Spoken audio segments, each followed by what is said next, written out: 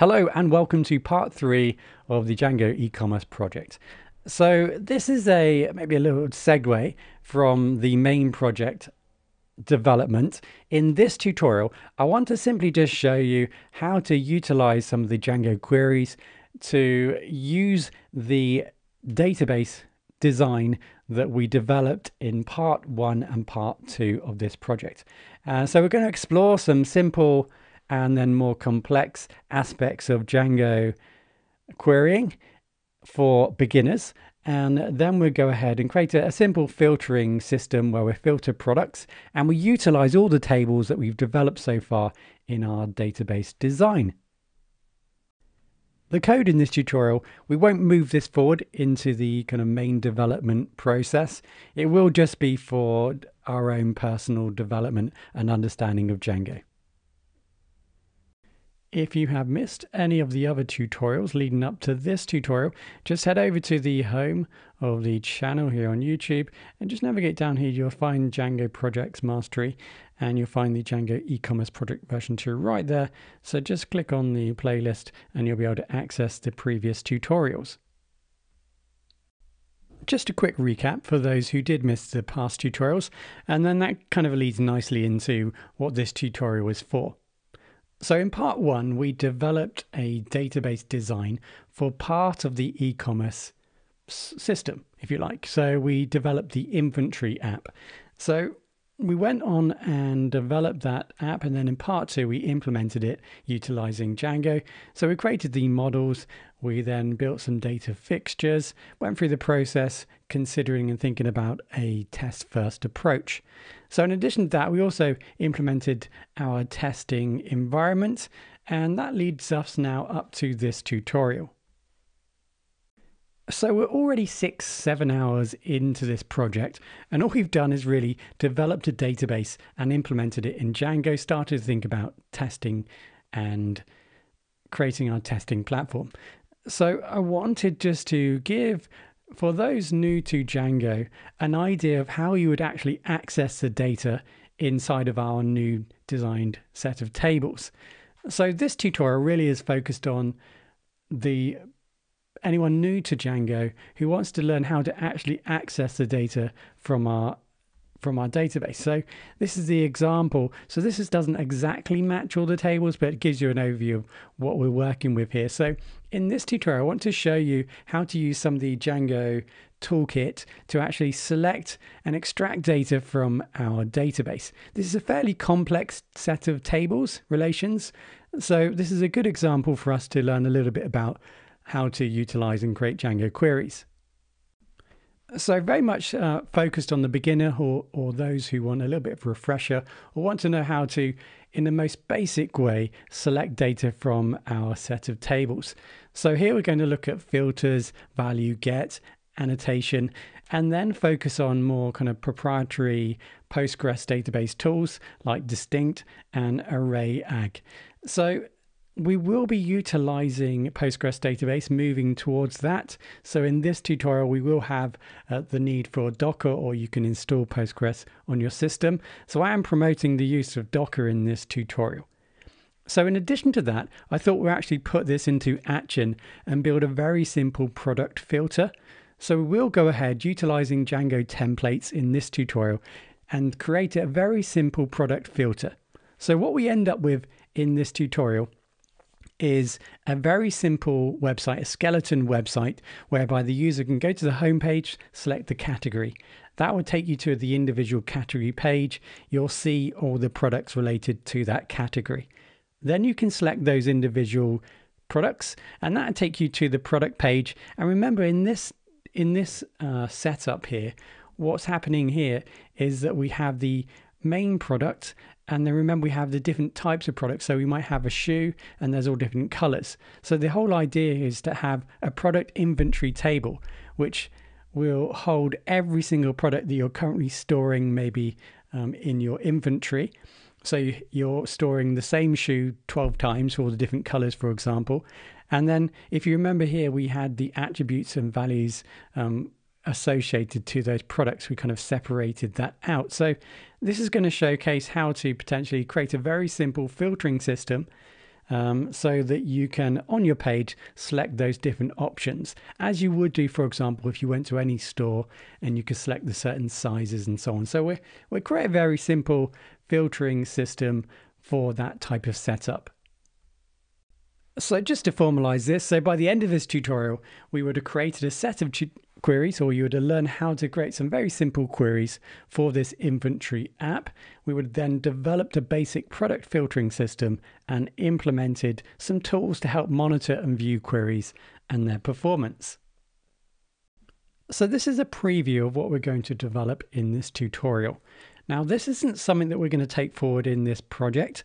This is purely for the purpose of learning some basics of Django or querying in Django to extract data from the database and to think about creating some sort of basic filtering system. Again, this is developed for and designed for beginners to Django and for those who wanted to just to start to explore the database that was developed. So I emphasize the basicness of this. So we can see here that we are going to create a, a simple query that's going to extract categories from the category table. Very simple and this is going to be connected because all the data now of our fixtures are going to be installed. So this is going to connect to the data that's in the database. So there's one item in our database that's connected to the category fit or table, or sorry, the category um, basketball. So there's one shoe connected to that category basketball, and then we'll be able to select the individual items. Of course, some categories will have more um, heels that one doesn't work. So there is some issues here, and this is worth pointing out here. So for example, here you can see that the data does need a little bit cleaning in the fixtures. So this question mark here, I believe, is um, breaking this slug slightly. So you will find that, and I will slowly uh, start to clean some of this up. But most of these are working. Uh, so let's just go into one of these items. And you can now see we're going to create a very fil simple filtering system. So when you click on the different items, so for example, this shoe has multiple options. So there are different options of this shoe. So for example, there is a blue size 5 and there's a blue size 6. You can see that the SKU, that's the individual product ID, is changing. So in the background here, these are all items in the inventory table let's just go back to the set of tables if you can just if you can just see this. So you can probably it's a little bit blurry but you can this is the product inventory. So the main product is stored here then the individual items based upon that product. So each product might have say four or five different types um, different colors etc so they will be individually stored here in the product inventory. So again it's just imagining that if you actually were going to sell products of shoes. You would have the red shoe, you would have the green shoe, the red shoe, the green shoe, the, the white shoe. These are the individual products you would have in your stock room. And this is what the product inventory table is trying to um, simulate. These are all the products that you actually have physically um, or not in your store. So that's connected to attributes. So the whole idea here was to basically create a filtering system whereby you would be able to select the main product and then that would take you to the product page. Like you would any any kind of e-commerce store uh, then you can then select the individual items. So here you can see we're going to create a very simple filtering system whereby we can select the different versions of this particular shoe in this case so by going through that very simple example, we will actually use just about every single table that we developed, apart from the media. That's just something that I've ignored for this tutorial. But you'll get the general idea from completing this tutorial, how you could bring the, the image in. So from this tutorial, we'll be extracting information from a category table. We'll be also needing product table information and product inventory table information. And then in addition to that, we're set up, which I think we've already done in our data fixtures, some attributes. We need to set up some more. And then in addition to that, we're also going to set up this table here, which we hadn't done in the second tutorial. We missed this out. I simply wanted to introduce it into this tutorial because it makes more sense when it's introduced in this tutorial rather than just developing it. And this is actually going to be linked to the product attribute table, not this table here. So we'll see that in action also in this tutorial. So we start by downloading the previous versions of the project and we're going to start there and just build upon that project. Now I have already created part three. So if we do go through the tutorial, you can follow the code and the code will be there to help you. If you didn't want to uh, write it out, if you just wanted to copy and paste it into your project, if you're following this step by step, then all the code is there in part three. So we're going to go ahead and just download this and then we'll extract part two and then we'll load up our virtual environment and then we'll start from there. So I've downloaded part two or the code in the repository. I've then extracted part two code into a folder, a new folder called project, and I've opened it up now in Visual Studio Code. And I've removed some of the zip files here, don't need those, and now we can move forward. So let's go ahead and create a virtual env environment. So here I'm on the Mac, so it's slightly different from if you're running Windows. So I've already done this on the Mac. So if you are running Windows, you're going to need to type in py-m and then venv, venv, and that's going to allow you to create a virtual environment or the folder, venv folder. So that's on the Windows machine. And then if you're on Windows, you're then going to need to type in venv. So if you just type in v, then tab, it will come up with the folder and then backslash and then capital S and press tab that I come up with scripts and then A and then press tab and then it come up with activate, press activate and you should um, have a nice little VE, VENV um, on the left hand side here. So to do that in the Mac, I'm going to need to type in source and then it's in the bin on a Mac and then activate you can see I've got VENV here on the left hand side. Right, so now I've got that in place. Let's go ahead now and just pip install minus R. So whether you're on Mac or Windows, exactly the same requirements. So these are the requirements. These are all dependencies or the modules or the packages that are going to be needed in order to get this software working. So I created that at the end of the last tutorial so that we could easily get this started. So now we can just type in Python 3 or just Py if you're on Windows and then manage.py and then run server. So that should run the server. We'll start to, you can see that there's some uh, migrations that will need to be applied. I said just simply wanted to get to see if that was working. You can see that it says the port is being utilized because I already have uh, the previous version running or a previous uh, copy running on a different screen there. So that just checks to make sure if it's running. So in the previous tutorial, we created an app called Demo.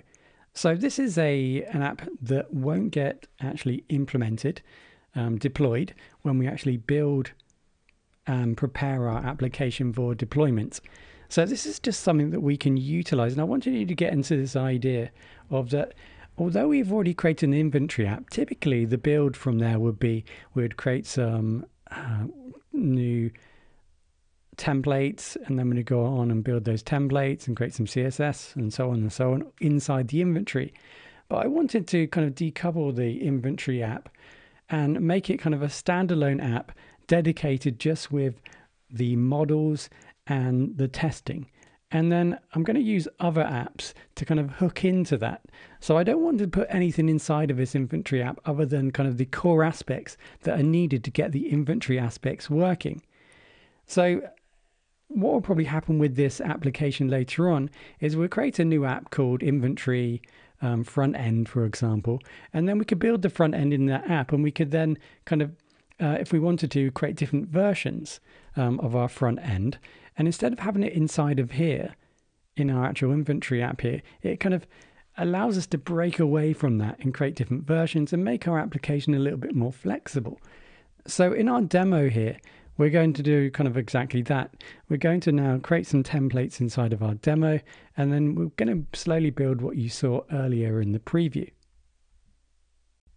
So this is just taking you through the basic setup of a, a, traditional Django application where we're using the Django templates. And like, I just want to reiterate that we're not going to actually deploy this. This is just for demonstration and learning a little bit about querying in Django. So we're going to create a new folder. So we're going to need some templates. We're going to need to serve some HTML pages to the users. So create a new folder here in the demo and we'll call this templates. So Django looks for a folder called templates uh, automatically for any kind of HTML templates that's associated to that app. So we can just create a new folder there called templates. And then inside of that, we're going to need some templates. But just for now, we want to get things working. So let's create a new file called base.html. And inside of here, we'll just say, hello world, just for now. So we just want to get this working to begin with, then we'll build upon it. Right, so that's the base.html page. Let me just bring this down. Right, so we've got a template.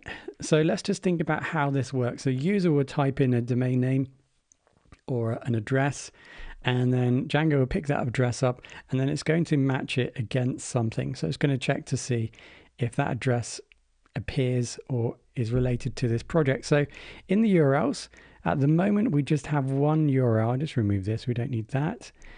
So we just have one URL, which is admin. Okay, so what we're going to need to do here is just extend the admin URL. So we're going to create a new URL list here, and that's going to extend the main URL list. So remember our main project settings here is in the e-commerce folder. So like I said, to kind of get the picture in your mind, so if I were to type in 127.001 slash, and I wanted to go to the home, so I type in home slash, that needs to be matched up, that home slash needs to be matched up with one of those URL patterns. And these URL patterns are connected to a view. And then in our view, we can get data from a database and obviously send back a response to the user and so on. So each URL path is connected to a view, that's connected to a database and templates, and that's then re- sent back to the user. So that's kind of the general overview of how kind of Django is working behind the scenes. So what we're going to need to do now is bring in uh, include here, and that's going to allow us to kind of extend our URLs and allow us then to build a new URL list to extend this list in the demo app. So we're kind of just making sure that everything related to the demo is inside the demo folder. So let's go ahead now and create a new path. So here we're going to create a new path and that's going to be connected to the demo. So this is just going to have demo slash.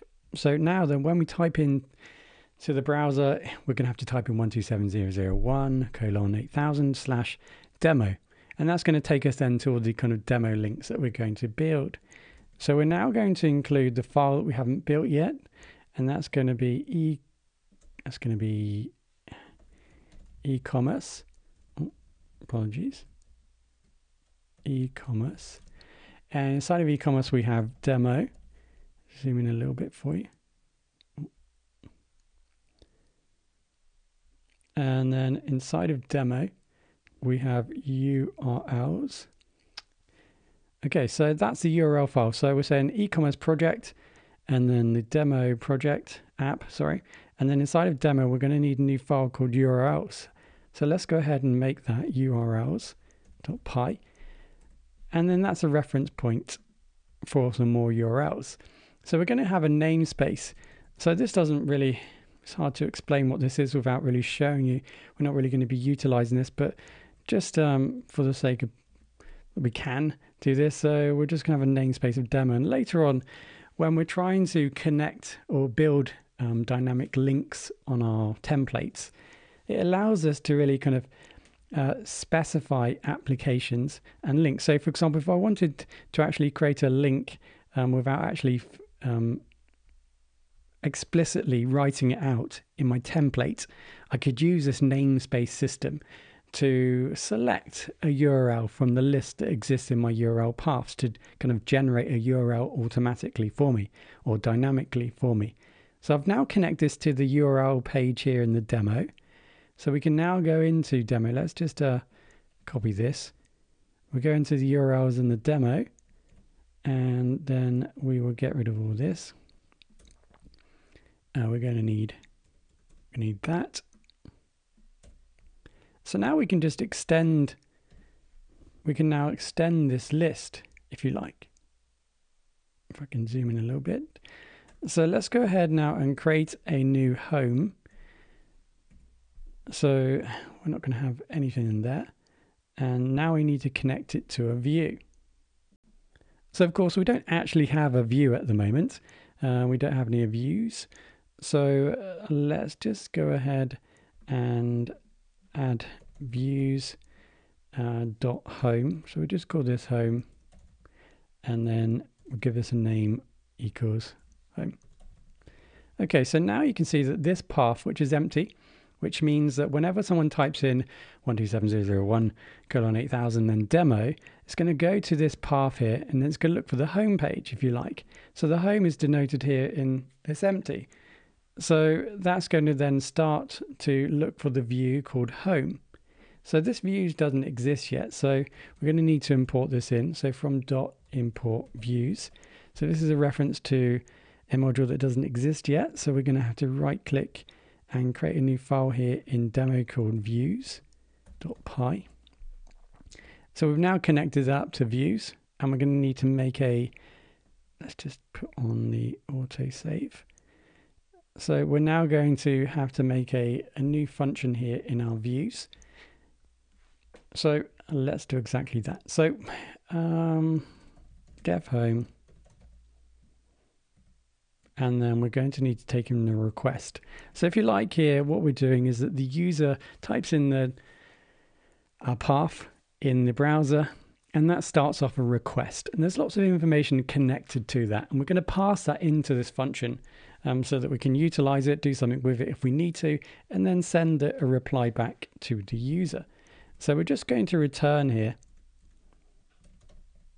So return uh, the render so render is a function that basically tells Django to return uh, requests, put things together, and what things it needs to put together, for example, is the template. So index.html. So, oh, actually, our template, let's have a quick look. Again, it was just called base, wasn't it? So we're going to connect this to the base template that we built earlier. And you can see that render is something that we're going to need to bring into the project. So from uh, Django.shortcuts, uh, import render. Okay, and there we go.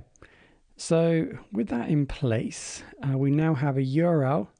So these URLs are going to be checked. It's then going to match the URL to the URL that's in here. That's connected to the view called home, and we connected that up here. And then we created a view and we just need to make sure that's saved. Yep, it's auto save. And that's then connected to our template called base. So hopefully now we try and start our server again. Um, you can see that we're going to need an app name. Apologies, forgotten that. So in the demo URLs, we're going to need an app underscore name, and that needs to match the namespace that we created earlier. So that was called demo. So back in the main URLs here, you can see that we created this namespace called demo. So that needs to match the app name here. And that's kind of a reference points that we can utilize when we're creating dynamic links in our templates. Right, so you can now see that the server is running, which is all good. So we can now go over and have a look to see if it works. So now when I hover over, when I navigate to 1270's 01 8000, you can see that it takes me to the home page. It tells me that there's two links available. So that obviously correlates to the URLs in the main URL page here, the paths here, admin and demo. Okay, so that's where it correlates here.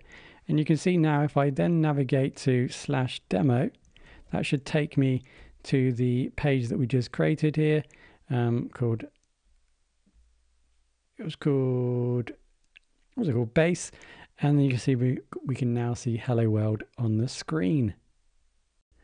So now we're ready to start to build some queries. So again, I'm assuming that you know very little about queries in Django, and we're just going to run through some basic queries and slowly build up to some more complex queries. And hopefully by the end of this tutorial, you'll have a general idea of how to start querying the database and how specifically to use the database that we've developed so far. So as I alluded to in the preview, we are going to be utilizing a Postgres database. So there's two options here. You can either install Postgres database, so just go over to the website, install it and start running, or you could utilize Docker. So my choice here is Docker, just simply because it's so simple. So what you're going to need to do first is go ahead and download Docker if you don't already have it. If you type in Docker Desktop into Google, that'll take you to the product page where you can download Docker Desktop. Now, Docker is becoming such a popular tool nowadays for developers. If you haven't started utilizing it, probably worth starting to think about utilizing it. So, download Docker for your version, your operating system, whether Windows, Linux, or Mac, and that will download Docker Desktop. And literally, once it's actually installed, there might be a kind of a uh, get started. Just uh, stop that. You won't need that at all. As long as it's running, everything else will be absolutely fine. We're not actually going to be utilizing anything else uh, in this next couple of tutorials, other than it's just going to run in the background. So the whole concept here is that Docker is going to containerize if you like, a version of Postgres database. So we're essentially going to run a database or that software inside of a container. So that prevents us from having to install it, going through all of those issues. And a lot of people don't like installing new software onto their machines. So this way allows you to simply just install software in containers. And that is kind of like a virtualized environment away from your main computer system. So go ahead and download that, install it, restart if you need to. And once you've done that, we can go back and start to now kind of build a container to actually then run a Postgres database. All right, so now we need to set up a Postgres database. So we're going to do that programmatically. So we're going to create a, a new file here. And essentially, we're going to create a script to tell Docker to download Postgres and then to start running it in a container. So let's go ahead and create a new file in this e-commerce folder here. We're going to call this docker compose. And that's going to be a YAML file. Okay, so this is a script uh, that we're going to literally just create a simple script to tell Docker what to do in terms of setting up a Postgres database.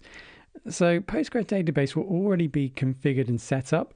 So we're going to download an image from Docker and that's going to be already set up and we're literally just going to run it, start a container and Postgres database is going to be running inside of a container. So just a little bit of an introduction here then. So we're going to use the, the code version if you like. Um, uh, we're going to use 3.8 Okay, so then we're going to need to define some services. Now tabbing here is really important. So just take, um, just keep note of where I've kind of made tabs. So first of all, we're going to define some services. I'm going to call this PGDB, Postgres database, and we're going to create a, a new container. Um, so we're going to give a container a name. I like to give it a name. So this is going to call Postgres database and then e-commerce e-commerce. So that's going to be the name of the container. So I know what the container is running. And then we're now going to need an image. So an image is, if you like, um, like a blueprint um, of something that you want to run. So here, for example, everything is already pre-configured on an image and set up so that you literally just run an image and that then builds a container. So a container is essentially a, a lightweight computer, if you like, running the software that you've designated, in this case, Postgres database. So we're telling it to download Postgres. That's the name of the image that's being stored on Docker Hub. So if you're interested in know where these images come from, uh, just explore using Google Docker Hub. And there's all sorts of images there, um, software, etc. So we're going to say that if, for example, this service stops, we're going to start to, we're going to try and restart it. So it's always on. And then we're going to need to then map some ports. So there's no way into this container um, or out of the container unless we actually define the ports in and out of the container. So this service is running on 5432. So that's the port that it's running on. So when we're trying to find this Postgres database in this container, we're going to send messages to the 5432 port. And that port is going to be attached from our computer to the container. So we're literally just setting up a pathway into the container. So we can send messages into the container and actually then access our database. This is where we're setting up these ports here. And then we can then set up some more kind of environment variables. So if you have a look at Docker Hub at the images, it gives you a whole heap of stuff you can do. So we're going to set the Postgres um, DB equals. So we're going to call the database Postgres. So these are going to be passed into the container to kind of set up the container and all the different variables that we can do. And there's loads of them. So we do the same thing again um, for the username and password. Um, so this is going to be user. So we can set up the username and the password. So I'm just going to go for all Postgres and then uh, password.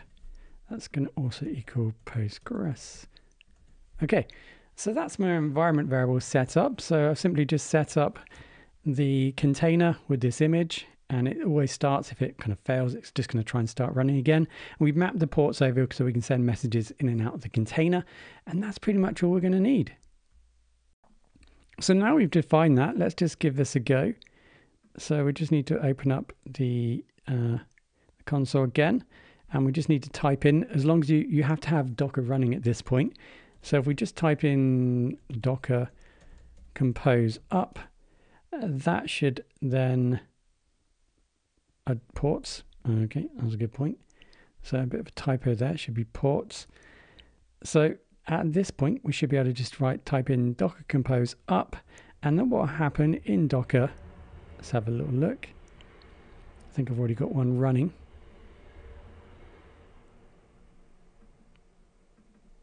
Hoping that would come up. Here we go. So um, when you run the command docker compose up, what's going to happen? It's going to download an image. So it might take a couple of seconds because the image is 300 meg. So it's going to download the Postgres image that you've defined. And then, if I can expand this a little bit, and then you can see here what we have is containers. So we have this container running here, and this is called PGDB e-commerce. That's what we named it and you can see that it's running. It says here running. You might not be able to see that on your screen. So our database now is running in this container, so we can now start to utilize it. So let me just go ahead now and configure the actual application now to actually utilize that database. Because at the moment, if we go into e-commerce here, and then if we then go into, for example, the settings, if you can see down here, we have a database section. And at the moment, this database is configured to utilize a SQLite database. So what we need to do is just um, comment that out. And now we need a new configuration for our new database. So you can see here that we start off with database equals. So it's just, I've just copied out here um, and I've got default and I've just removed the engine and the name because now of course we're going to need a new engine which is going to be the Postgres database engine and we're going to need to set up the name and user and host and port for this database. So let me just bring this in. So this is the engine Django DB backend Postgres SQL PSYCOP G2. Okay, so that's the new engine for Postgres database. We now have the name which was Postgres. That's the name we provided, remember, in our Docker Compose file when we created the instance or our, or our um, container. So that was the Postgres database name right here. And then we just need to set the user and the password. That's what we set up in our Docker Compose file. And then the host, 127001. So the loopback address on our machine. And then port was 5432. That's what we've defined in our Docker here. So that's the default port that, uh, that Postgres database utilizes and watches out for for requests. So that's pretty much all we're going to need there. So next up, we're going to need some sort of way of translating our requests into something that Postgres database can actually understand. So we're going to need some sort of way of communicating. So we're going to need to install a new kind of uh, package for that. So let's go ahead and do that now. So the bad news here is if you're running Python 3.10, this probably isn't going to work for you. You probably need to kind of downgrade to 3.9. I think I downgraded to 3.9.1 for this tutorial. Let me just double check. Okay, there we go. Uh, so what we're going to do now is pip install, and there's a couple of things you can do here, but we're going to install the binary um, because we're on a Mac here. Um, so 2.binary and then we'll use 2.9.2. Okay, so we'll give that a go. So like I said, this is basically the instruction set to allow us to send messages back and forth to our Postgres database. And you can see that's installed nicely. So I can now pip uh, freeze uh, requirements.txt. So I'll just put that into my requirements text. So that's all now saved when I restart the project. So if you haven't seen the requirements file, what we just did there was made a, a copy of all the requirements to get this project working. Uh, so we've just added the Postgres, uh, where is it?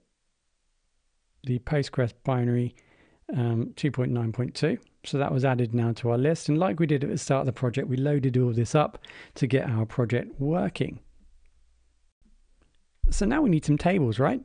So uh, let's go ahead and add some data and some tables to our database. Now, to do this, we're going to, if you remember from the previous tutorial, we were loading fixtures. Um, we were creating a migrations and migrating. This is all one command that would migrate, make migrations, and then it would then go ahead and insert all this data that we created. So that's all in the inventory fixtures here. So we created a bunch of data fixtures um, that will then get inserted into the database. So let's just go ahead and just test this out and then we close everything down and then I'll take you through what I've done in terms of the fixtures because I've created a whole bunch more fixtures for our database. So our management command, our custom management command was called load fixtures. So we're going to need to run uh, Python 3 or just Py if you're running Windows and then manage.py. Manage and then we're going to need to run our command, so load fixtures. So remember, it's going to run make migrations, then migrate, and then it's going to load all the data. So if everything is set up correctly, um, oh, there looks to be a problem here. Okay, so if you do receive that problem, it looks like what's happened I'll just close all this down. It looks like what's happened is that if you go into e-commerce and inventory and then migrations, you can see that something's already been migrated because I didn't remove it in the repository. So if there already isn't a migration, then we can't migrate again. You can see that it's going to cause a problem. So what we need to do is make sure that there isn't a migration inside of our inventory migrations area here. And then we need to then go ahead and just double check to make sure an SQL database didn't appear. Nope. So that's pretty much all we need to do there. So now we can go ahead and do same thing again. Give this a go. So it says here that web ID. Okay, so it looks like we've got some issues here with maybe our data. Um, probably what's happened is in our database, some tables were created. So let's go ahead and just clean things up. So it's just good practice. Um, so we need to go ahead and just delete that migration from the inventory migrations. Let's go ahead and open up Docker. And if you can kind of see this, what I'm going to do is just select my containers.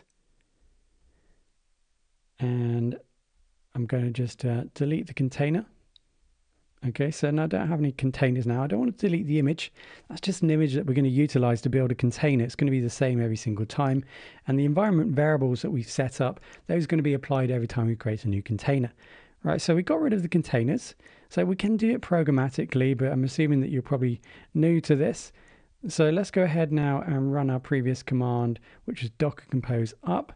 And you're going to see that's going to create a a new set of containers. Now I'm using the command here and you can see that in the terminal it's given me all the output from the container.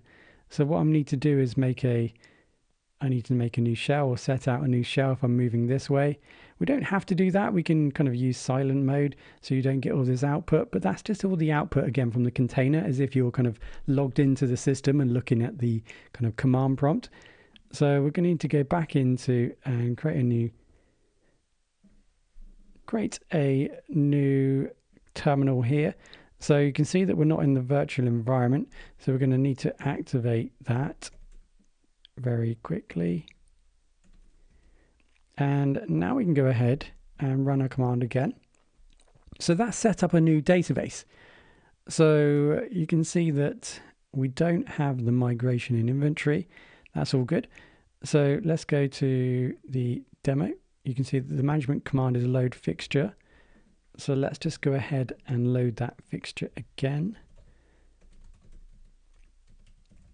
Sorry, load fixtures. So the management command. You can see this time everything is working nicely. So what happened last time was that we tried to start the process. It created some tables and then at that point we just had to move back because we needed to delete the migrations and the, the database and start again. So what's happened now is we've successfully started to build some tables in our Postgres database and we're now installing all of the fixtures um, from the inventory app here, all the fixtures. We're now installing all that data into the tables. Now, if you're not entirely sure what's going on here, maybe um, that's potentially because you've not seen the previous tutorial. Uh, if that's the case, all of this was explained in the previous tutorial. Um, essentially, what's happening here while we're waiting for this to add into our database, what we've done here inside of our load fixtures, you can see that we've created the mic make we've run the make migrations command and migrate by running this one command and that's then going to add all the tables from our models here. This is in our inventory app. We've made all our models. So what we've done now is we create some fixtures, so some data that's going to be inserted into the tables. And our management command, our custom management command here, is just loading all of those fixtures into our tables. And you can see it's taken quite a long time to do that because there's quite a lot of data that's being inserted. If we were just creating or just running a SQLite database, that wouldn't take too long. And of course, you can do that. If you go back into your settings, uh, what you can do now, if you just want to kind of practice uh, with the data or change things around, etc., just to try things out, you can now just comment out this database here that we've set out um, the Postgres database and just um, reactivate this code here and that will then simply run the SQLite database instead. So just go ahead and comment out whatever database you want to use. So if you are finding you're having trouble here, you can follow most of this tutorial, but at the end we do start to use some very um, proprietary tools, commands uh, for Postgres database, so you won't be able to follow the the complete tutorial. So now we have our database set up. I was going to take you through the process of logging in and having a look at the database, but there's no need um, at this point. Uh, if you are interested in that, I have um, created many tutorials before showing how to use pgAdmin. So, for example, I'll add some code here, and you'll find this in the repository. This is the code for pgAdmin.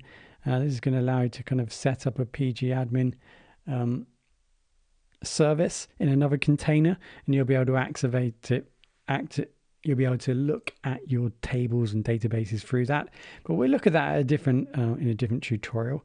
And like I said, have a look at some of the other Postgres database tutorials, and I'll take you through how to utilize that. Right, so that's now finished. So let's just close all of this down here. So now we have all that in place.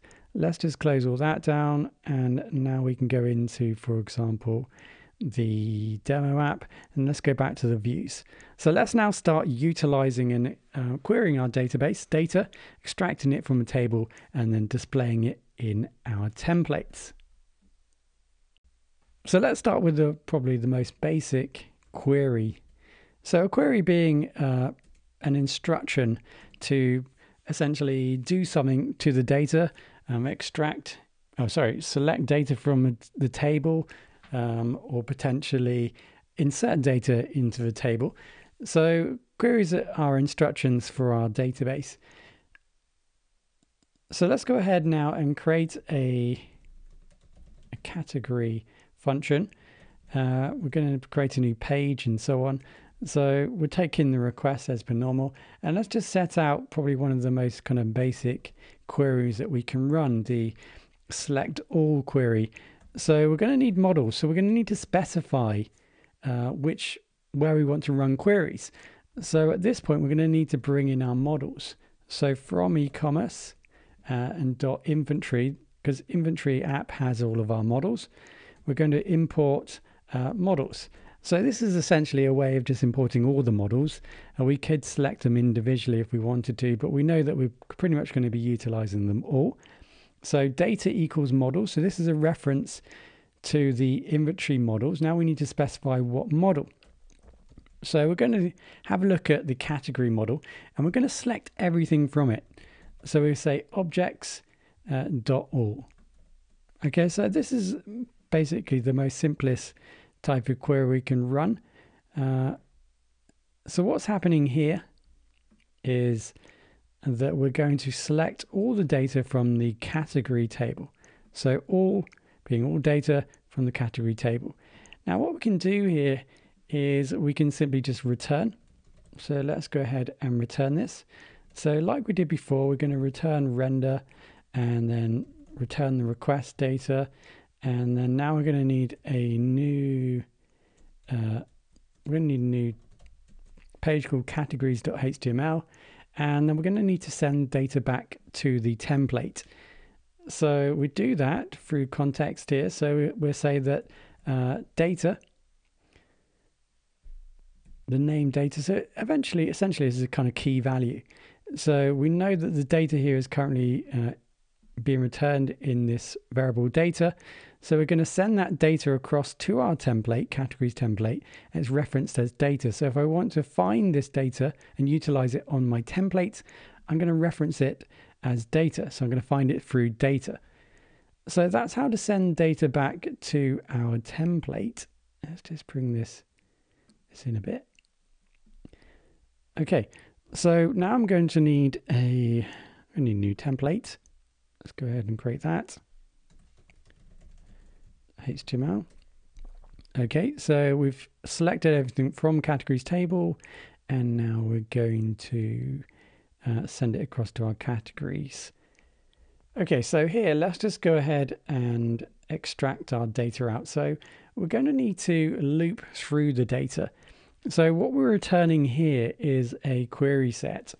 So that is a, a number of uh, a number of data. So it's not a single piece of data; it's a number um, is multiple data that's being returned. So if, for example, I was just to print this out, this is always a, a good thing to do.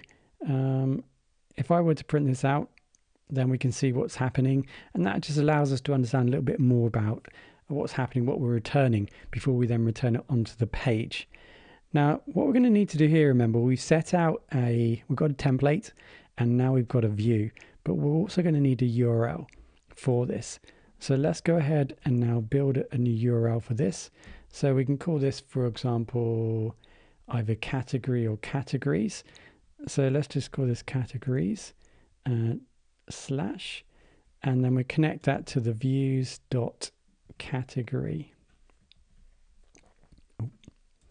Just views category.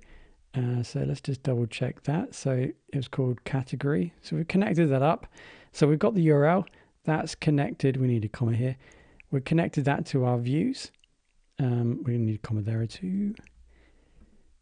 And the category view. So hopefully now, if we go back and start, we run our server. Let's just see this working. Let's just go ahead and just put categories here. So we've got something outputted. Okay, so back in our browser, let's go ahead and type in 127.0.1 and we need 8000 on that.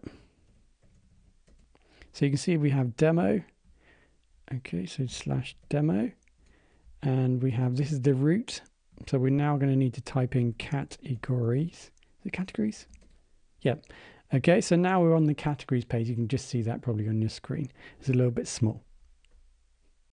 So let's now actually grab some data and return it. So one thing you did notice that we run that page and you can now see I'm printing out all the data that is being returned. And you can see here that this is a return in the query set here and there's lots of different items. So I'm going to need to loop round that data and extract out um, all the data. So you can see here that um, we've got this key value setup, uh, key, category, value, formal. So these are all the actual categories that are currently in our system. So if you wonder where they even come from, remember we've got our in the in the in the inventory here. Remember with this data has been inserted via these fixtures. So if you go over to the category fixture here, you'll see these are categories fashion, category one, woman, category two, shoe. So we've inserted those into our database already. So that's where the categories are actually coming from and why they're actually being printed out. So that was being printed out um, via here. That's always a good way to see what's happening before you then go ahead and actually put it onto the template. So let's go ahead now and just create a what is a very simple loop so that we can loop out our data on our page. So let's go for a for. Now, if you have the Django extension installed, you can literally just type in for and then everything is set up for you. So what we're going to do is for x in and then this is the data.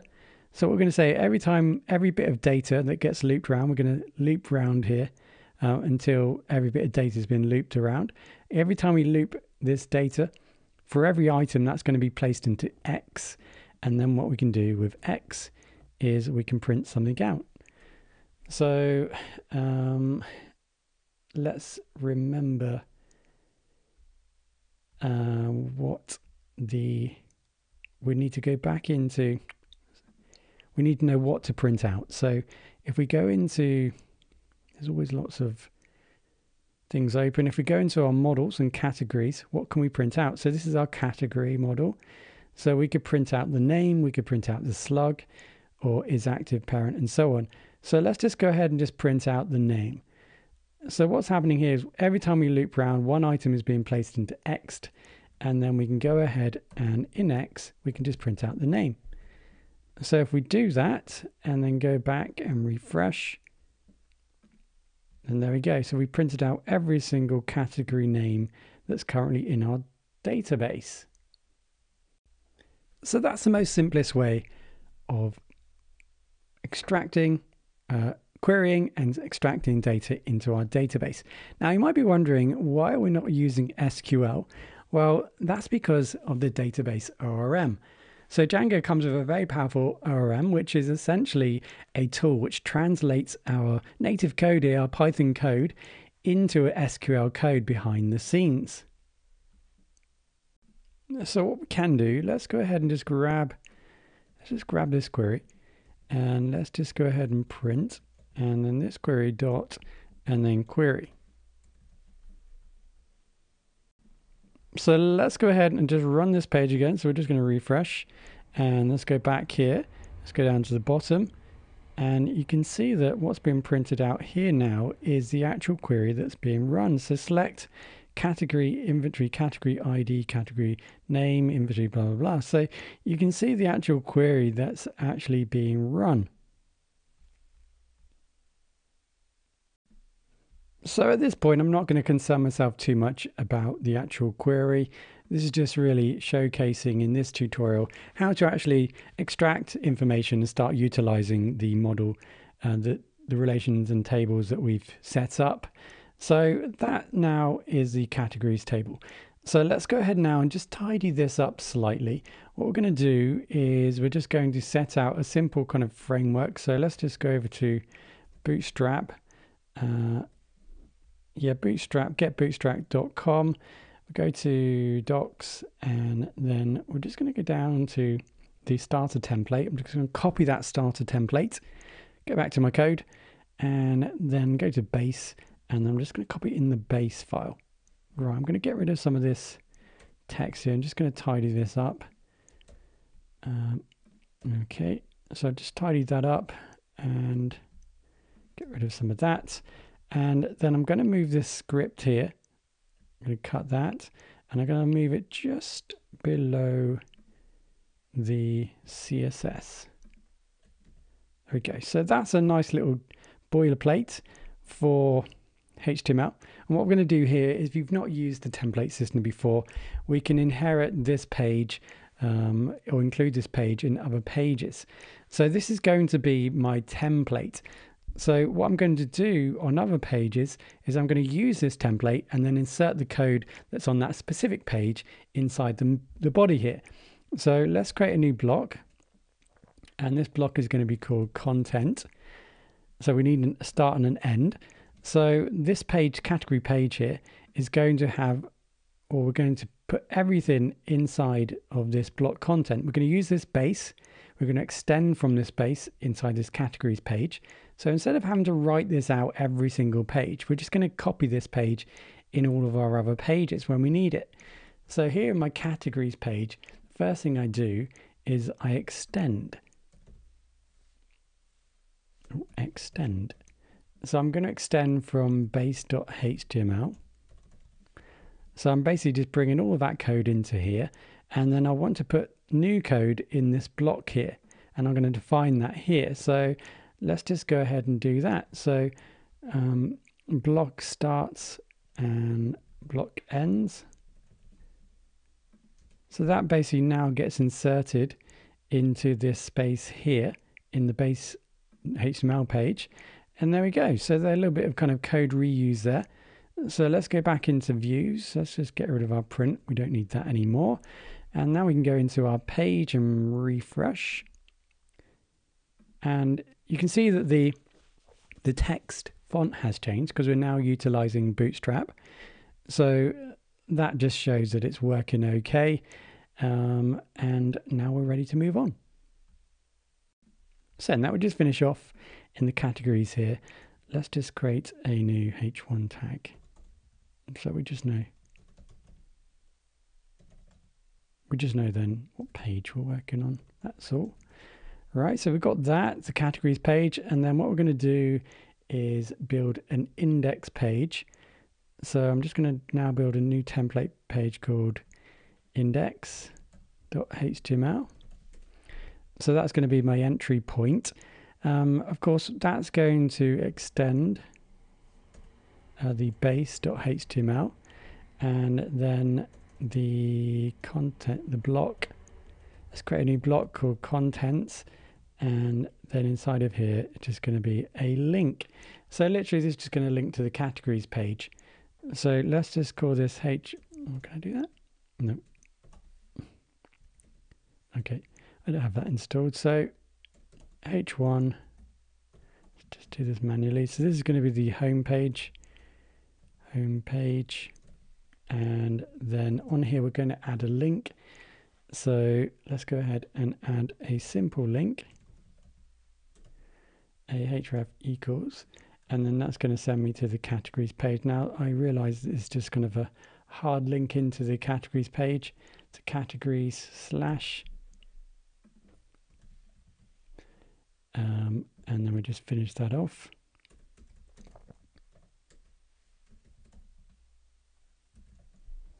Okay, so let's just double check our URL. So it's the same as that. Okay, so that was in our index and then that links to our category page. So what we're going to do, I'm just going to close all this. Okay, so now we've done that, let's go back into the demo URLs. At the moment, is connect the views is connected to the home. So we go into the home views, and that's connected at the top here to base. So now we need to change that to index that's in our demo here. And now what we should be able to do is just refresh this page. Well, let's just go back to the home page for demo. Okay, so that isn't working. Not sure what's going on there. So remember, um, we have a template called index. So that's all good. So we've changed the index there in our view.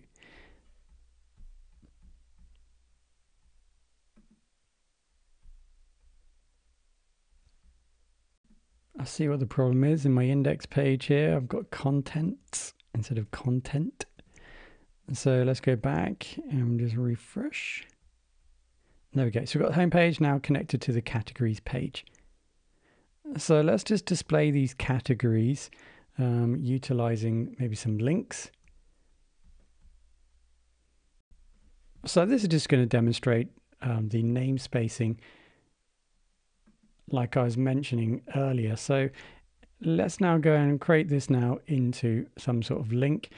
So this is going to be uh, a an a tag href equals, and then now what we can do is we can use that namespace we created earlier. Um, let's move this out. Okay, so here we're going to say uh, URL, and then that's going to be demo, and that's going to be a name. Okay, so this has got to be um, now kind of a name to something.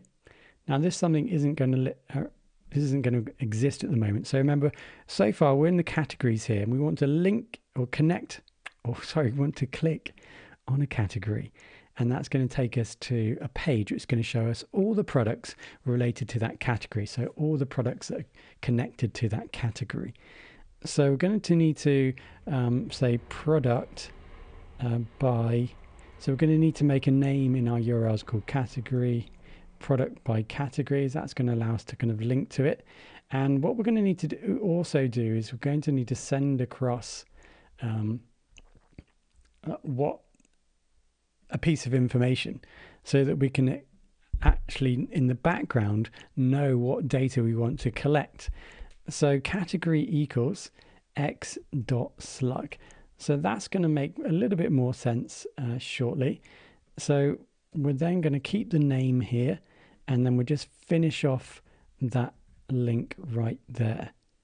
Um, that's going to need a there and then we're going to also need after that that so that just finishes off the the link.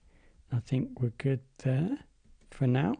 Right so with that in place let's go ahead now and build the product by category actual um, page and get this kind of connected up. So let's go into the templates here.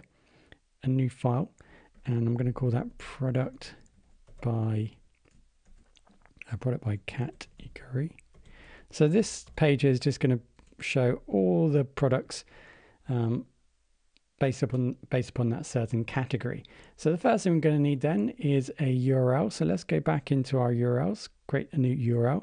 So that's going to be path, and then that's going to be a product remember this is a slug, so by dash and underscore category and then slash and now I'm going to need to set, pass kind of some values because I'm going to need to know in the back end um, what category. So we're going to pass over uh, some data, so category, and then we're going to connect it to a view. So views dot, and we're going to call that product by category we're going to call it that.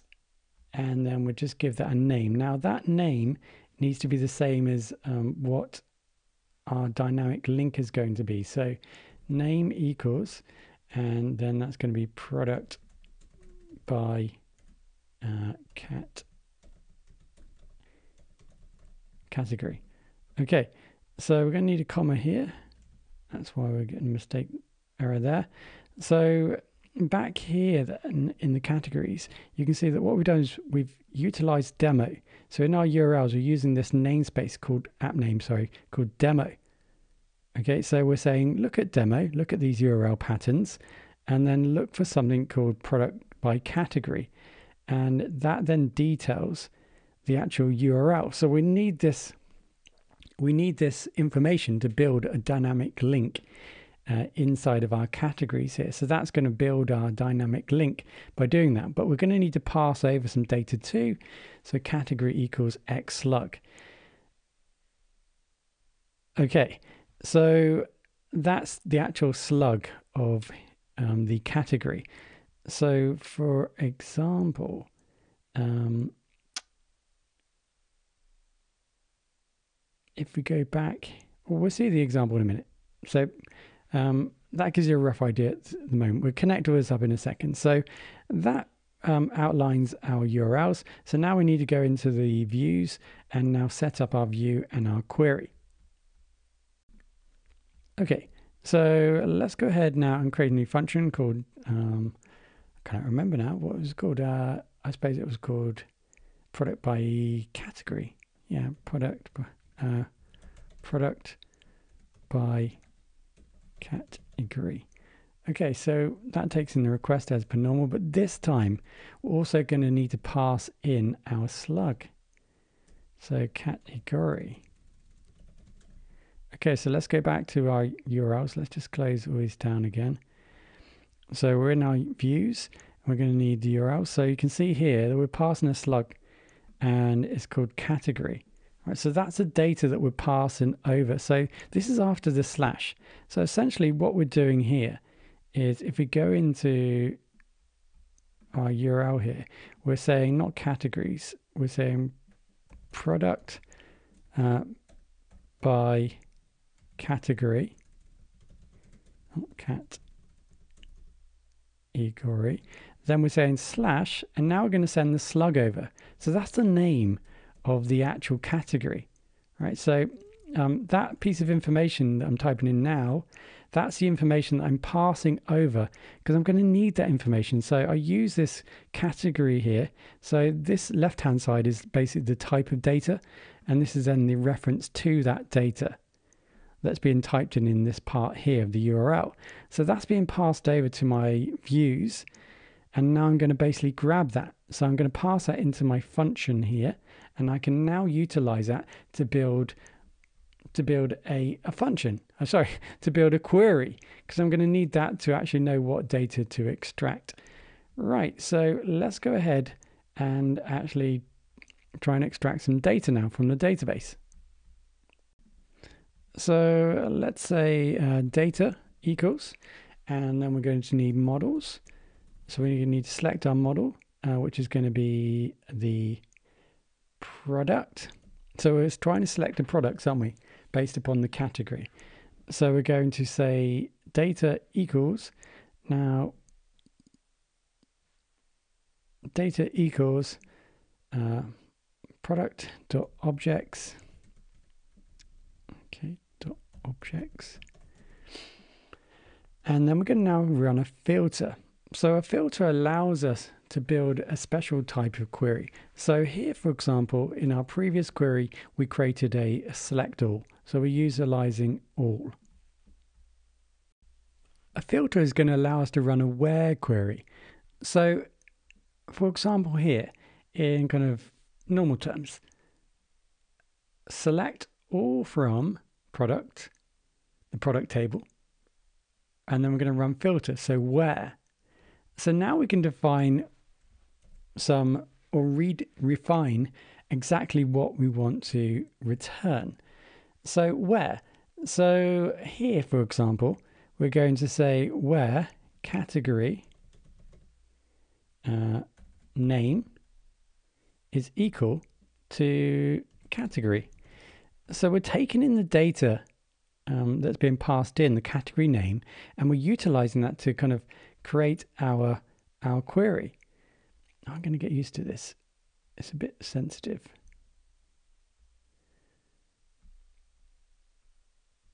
One more. okay, have to do.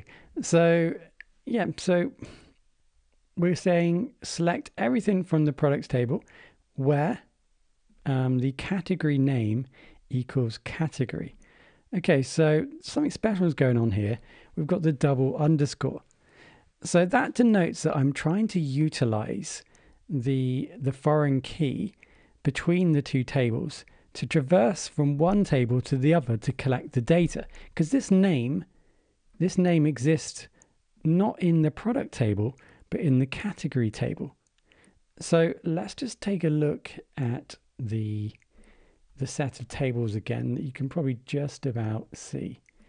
So here we are in the product table. If I zoom in a little bit, here we are uh, in the in the products table here. We're trying to collect all the information uh, or all the products in this table where the category equals whatever the category is passed in. Now, notice here we've got a many-to-many connection between product and category. So we do have this new kind of link table called product category, which Django automatically made for us. But that's kind of irrelevant. So inside of our category, although it doesn't say here, there is a name field. So apologies for not updating this. So if I just go back into the inventory models, you can see here in the category, we've got the name field. Okay, so what we're doing here is in the product table, we have a link from the product table. Um, so it's called a category. This is a, a foreign key, uh, which is going to allow us to kind of traverse over this table to the category table to check to see where the product is connected to the category. So what's happening in the background is that this product is connected to a category. So say it's category one. So for example, if I go into the fixtures, so if I go into my fixtures here and have a look at my category, yes. So fixture fixture one, which is um, category one, is fashion. So that's in my category table. Now, because there is a many-to-many connection, a new table has been made, a link table. So what's happening, for example, product one, when we built product one, we said that was connected to category one. So what happens here is that the product ID gets placed in the product category and the category ID one for that category one gets placed here as well. So I can query this table to see what this product is connected to, what categories via the IDs. So when I make a query in the product table, um, what I've done is I've used the the foreign key link um, across to the category field. So let me just kind of show you that. Uh, so if I go into if I go into the models again, if I go down to the product table, you can see you've got name, description, and then something called category, and that's connected to our category table. So it's a tree many to many field. So it's a many many to link over to the category table. But the reference point here is category. That's the important thing. So that's what I've typed in here, category. And then the double underscore is essentially telling Django to, to kind of traverse this link over to the corresponding table and look for where the name, the category name, equals whatever the name of the category that's been passed in. So that's how we're kind of building that. So what's happening here behind the scenes is that the query is essentially taking the ID of this product and then it's then looking in the category field and it's then matching the category name so it's grabbing the ID of that category name. Say it's basketball. So it gets the category ID and it knows the two IDs at this point. So it knows the product ID and the category ID. And then it can look inside the product category table to kind of match it up. If there is a match, that's what's going to be returned and displayed on the page. I apologize for the long winded um, explanation. I tried to kind of make it in kind of layman's terms rather than actually discussing exactly what's happening. But hopefully, at this point, you've got a general idea of how that's kind of being traversed and we're finding that information. So let's go ahead and go back into the code and let's uh, now just print this out. So actually, we'll do a return. So require re, request um, and then our new template which is called product by category HTML and that should just kind of load it out. Okay, so let's go back into our browser so we have our home page that's connected to our categories here. And these are our categories. So let's just select, for example, woman. And you can now see that our link takes us to product by category and then woman. So you can see that that is working okay. Nothing is being returned yet. So let's just go back to our code and let's just see if this is working. So print and then just category. So let's just print out the category, see what's actually being returned. So um, for example, let's go to general purpose. So that's the link general purpose. So let's go back here and you can see that we're actually printing out general purpose. So you can see that we're actually capturing that information. Remember, we're capturing that information here because we've defined um, that. So slug, remember, is just a data type and then category is the actual kind of where the data is being stored or kind of a reference point, kind of key value uh, setup. That's being passed over to our view through our function here and then we're printing it out. So we are actually utilizing that to make our uh, query. So let's go ahead now and actually test this query. So let's go print and then data to see what's actually being returned. So let's just uh, refresh our page there. And we can now see that in actual fact it didn't return anything at all. That might be because there isn't, there isn't any products in that um, in that category. So let's just go for boots. There's bound to be something there or not. And you can see here that in actual fact there is, um, because if I just skip or if I just move up, you can see it's return a query set. And these are all the products that are inside of that category. Okay, so we are returning something, which is great. So all we need to do now, of course, is just um, print that out on the screen. So if we go into the product by categories, we just need to loop through that query set so we're going to need to, like we did previously, just return this. So let's do the same thing again. Data, key value, data. Okay, and we can now just remove that. We know it's working.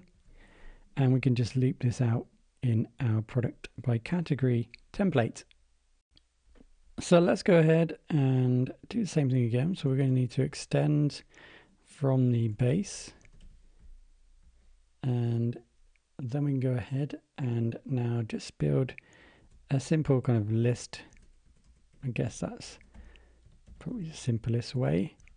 So we're going to need to now loop. So we're going to need a for loop. So for x in data. So we're returning the, the data reference to as data. And now inside of here, we're going to create a new list.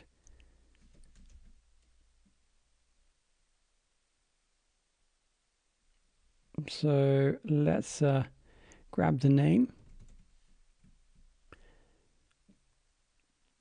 And then potentially we're going to need the, yeah, let's just start with the name to begin with and see how that works. So let's just go back to our page and refresh. Okay, so it doesn't look like anything's been returned at the minute. So let's just double check this. So returning data, yep. So we are definitely, definitely do have some data here. Um, servers on. Okay, so we're going to need a, block. Content block, of course. That's what the problem is. There we go. So hopefully now it will be output. There we go. Okay, so those are all the names of the products that are related to the category. And this is boots. So it should be different for each category. So there isn't anything associated to fashion or woman shoes, baseball, there's one item, booties, casual, and so on. Okay. So I've gone ahead and added some more information. So I also want to return the ID and also the store price. Okay, so the store price at the moment actually isn't stored in the product table. So this is stored in the product inventory table. So I'm going to need some way of collecting that information so I can actually print it in on this template. So let's take a look at that. So back in my views, we can see here that we created a, a query, which was querying the data. So all the product data we're using filter, so where the category name equals category. So we're looking for each product where the category name equals the category that we passed in. So what we can do here, in addition to kind of collecting all the information, is we can also specify what data we want to actually collect, for example. So this gives us um, and allows us to kind of expand and think about some other aspects, including maybe collecting data from other tables. So, because we know that we want to collect, for example, the price in addition to all of the other data from the, the product table, um, we can use, for example, uh, values. So, let's go ahead now and use values. So, this allows us to essentially so, uh, put one wrap on. This essentially allows us to kind of specify what we want to return or what field, sorry. So maybe ID, uh, excuse me, ID, comma. So that's the ID. So these are all field um, names inside of the product table, uh, which you can have a look at. Name, uh, and then we're going to need the slug, for example, so we can make a URL and then create it at and so on. So what we can also do is we can traverse this table so we can move from this table and collect other data. So because we've made foreign key relationships uh, or one many-to-many relationships between different tables, we can kind of move to the other table. So for example, here in the product inventory table, there's something called product, and that's a foreign key to this product table. This is how we're making this many-to-one connection. So we can use that reference as a way of kind of traversing from this table to this table and collecting data from this table. So we'll do exactly that. So back here in our models, you can see that this is in the this is the product inventory table. We have a reference here, product, related name product, to the actual product table. So this is a foreign key to the product table. So we're going to utilize that to use a reverse foreign key link to this table and then collect data from this table. So let's just uh, see that in action. So let's go back into our views. So let's just grab something from that table. We know we want to grab the product price. So let's go ahead and do that. So product and then under underscore, double underscore to kind of allow kind of Django to kind of initiate that look for foreign key, reverse foreign keys. And then inside of that table, we're going to get the store price field. And that's in relation to this product. So there we go. So we can do the same thing, for example, with the category table. Let's just get the category name. So we can say category double underscore name. Double, not triple, name. So we can also get the category name. So that goes the other way to the category table. So we've now, for example, we've gone from the product table to the category table to kind of get the name of the category that the product is associated with, for example. So now we've got that. These are now reference points for data. So if I go back into the products category here, you can see that I've uh, looped um, the data into X and then the name, the ID gets outputted. And then I reference that data as we've defined it in our view here, in our values. So this is the actual data point that we're going to utilize to extract that information out. So if we go back into here, and now refresh, we can now see we're actually extracting the price from the product inventory table and we're now including it here.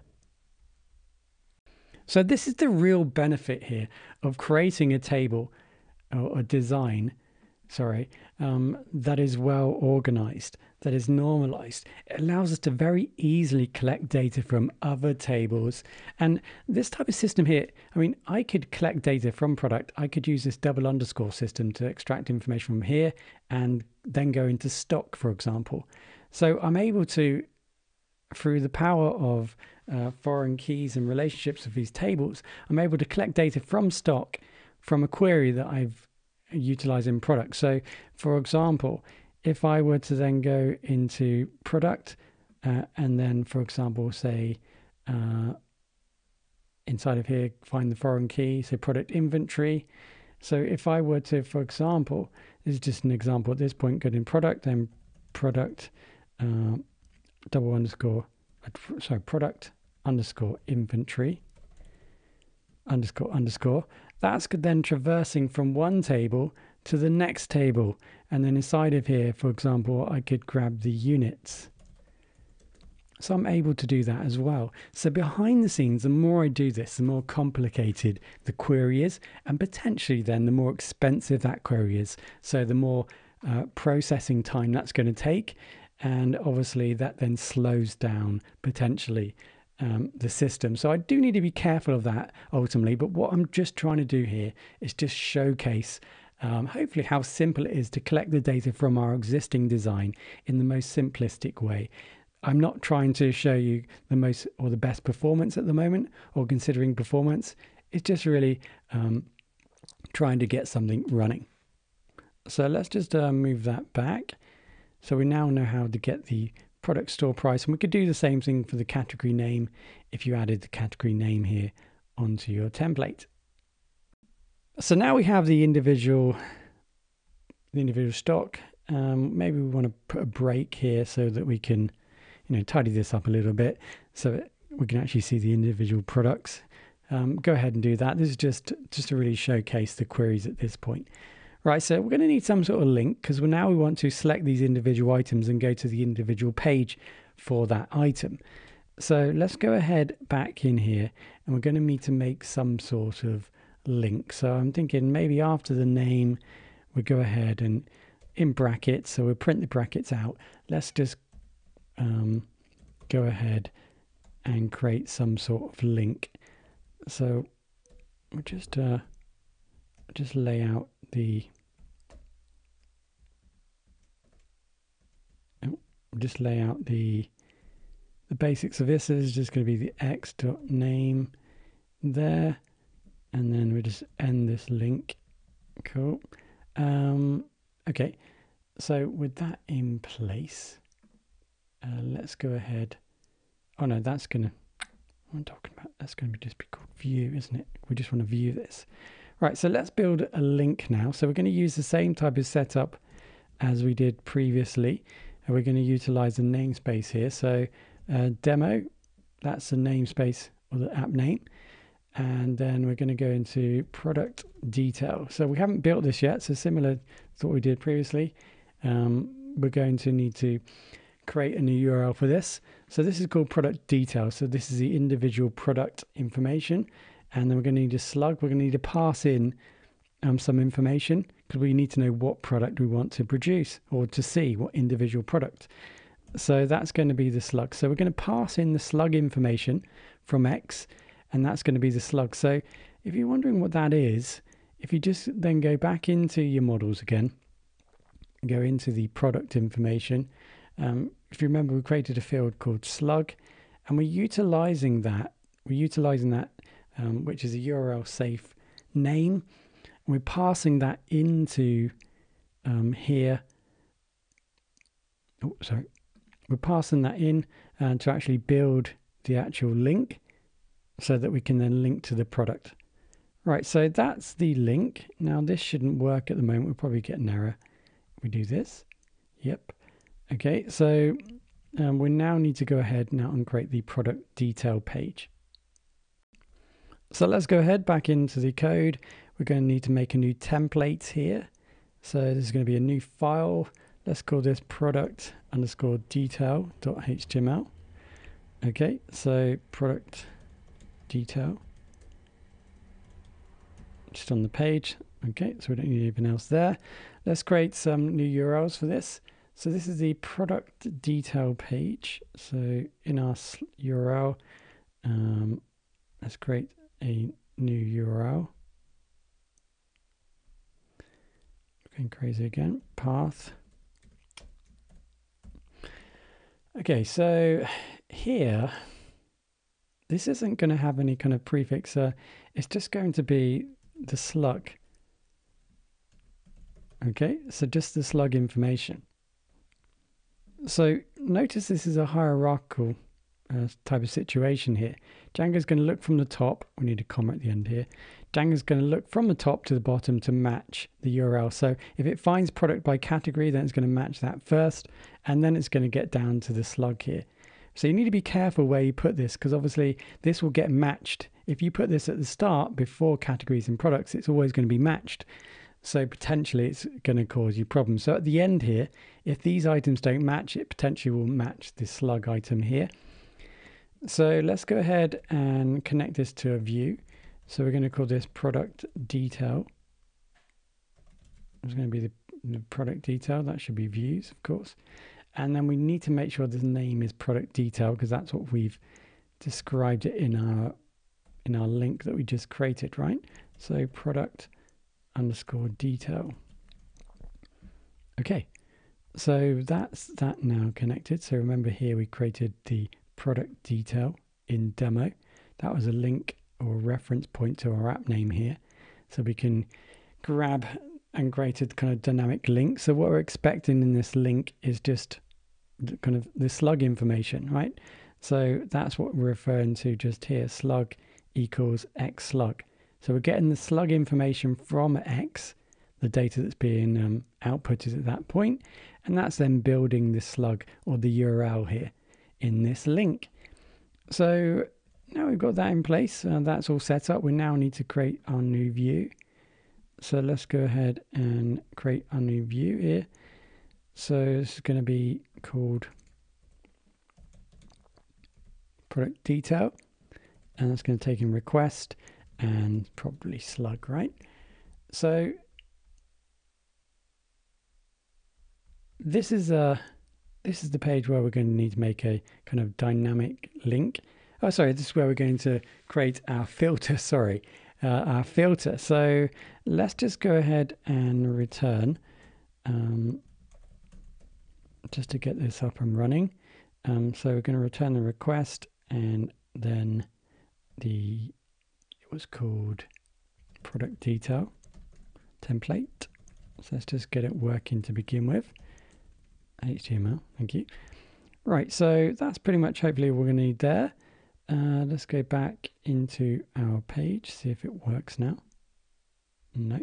So product detail expected empty or endfor. Um, okay. So, oh, okay let's just go back here. So demo works. So test. There we go. Okay. So let's go ahead and just utilize this slug. So let's say data um, equals models dot product. So let's just grab kind of the product by the slug, right? So objects dot filter. So where um, so we want to grab an item from the product table where this filter where the slug equals slug. So remember in the models table, in the, sorry, in the products table, there is a field called slug, and that's an individual slug, unique slug per item. And so what we're going to do is we're going to pass in the slug into here, and we're going to grab the item that's related to that. So we'll then go ahead and just print the, the data there. Right, so we're going to need a slug. So let's go ahead and just go into our products attribute product product product product fixture. So let's just grab a slug here while running sneakers.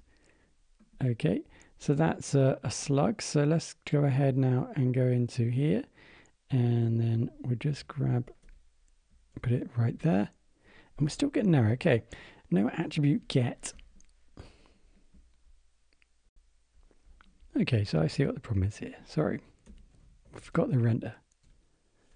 Okay, so to confirm then, so we're passing in the slug and then we're grabbing that slug information, we're matching it against the product, which equals that slug. So let's just go ahead and refresh again. And there we go. So the page is loading okay. And you can see here the query that we printed out, uh, product wild star running sneakers. So that's also the name of the product. Remember, that's why it's saying that.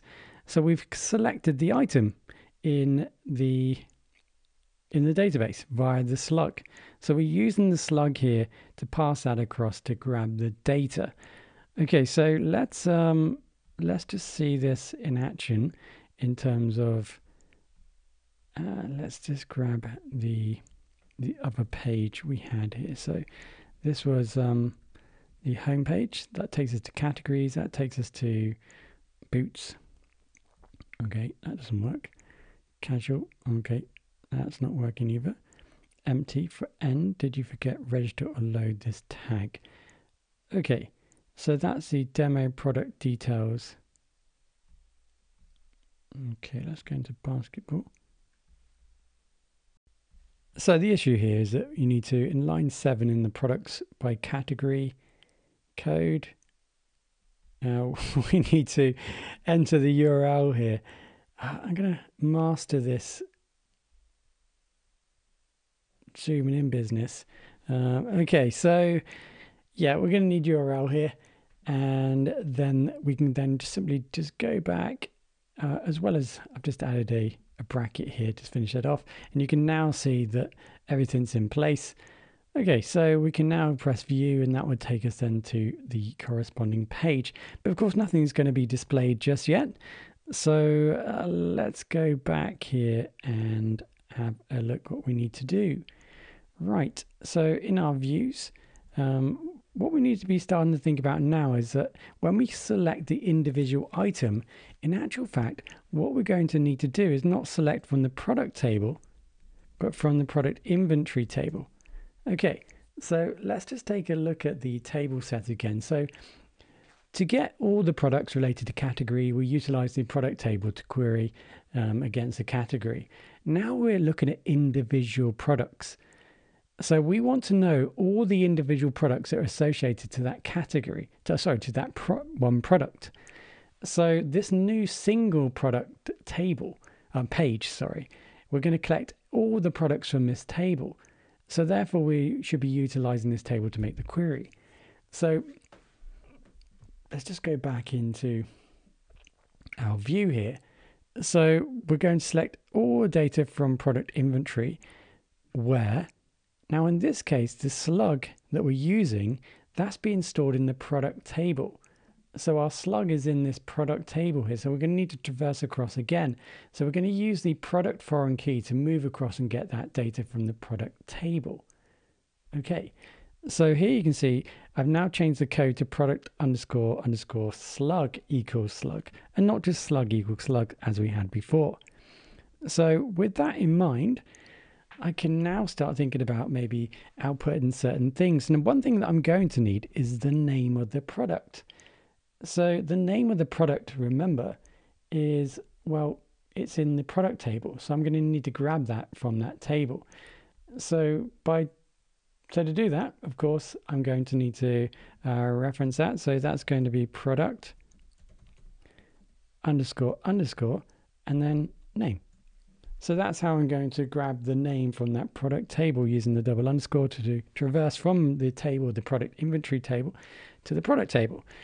So uh, let's go ahead now and let's return some data and see if we can start to print this out.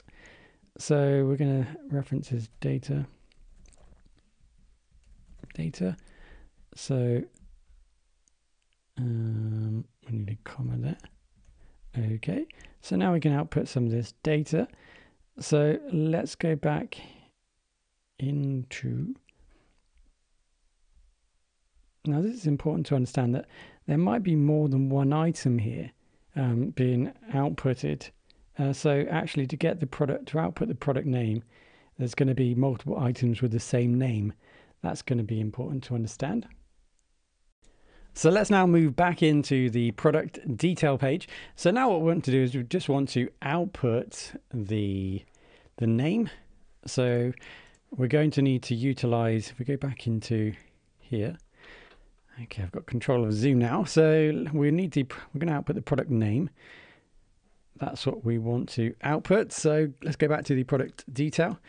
So here we're going to loop around all the items. So here we are uh, looping the data out into X. So we're going to say X dot and then product name. I think that was right. Yeah, product name. Okay. So now we've done that, let's press save. Let's go back into the web page. So now we have the home page, which is connected to categories.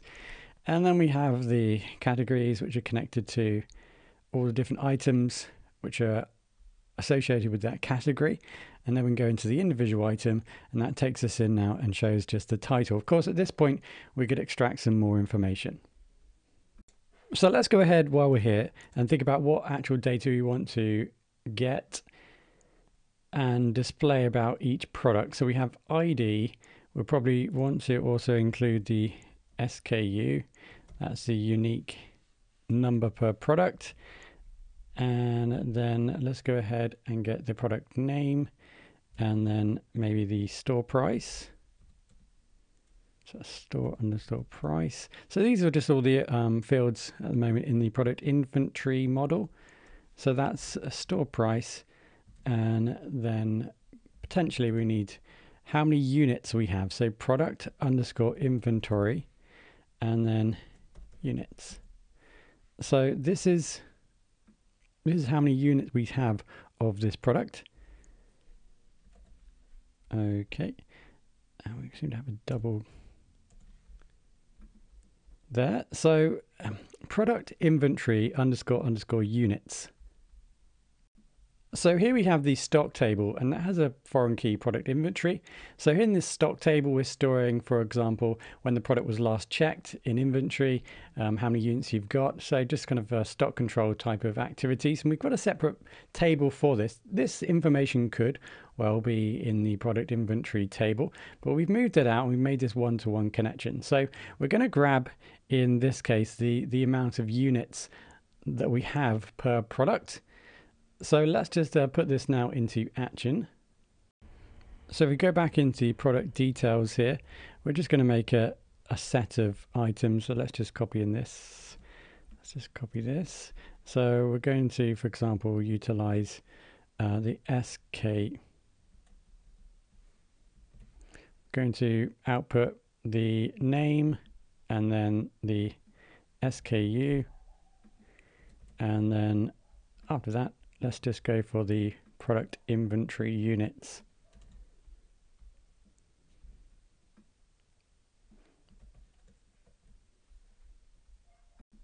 So you can now see going back to the page and refreshing, we now have the name, the SKU number, and the amount of products we have available. And remember, that's coming from our stock table here. So that really gives you a good indication how you might utilize this table, the stock table, and uh, utilizing connections between tables to traverse the, the table and collect data from different tables. Now, like I said previously, when you're doing this, um, I will explain at the end and talk a little bit about joins and what's actually happening if you're interested what's happening behind the scenes here. Um, but we have to be careful because when we make these joins, when we try and get data from other tables, we are, like I said previously, potentially we're making large queries, which is going to take longer for us to load and that's going to take more resources. So this is where optimization later on will help us create queries that don't cost as much.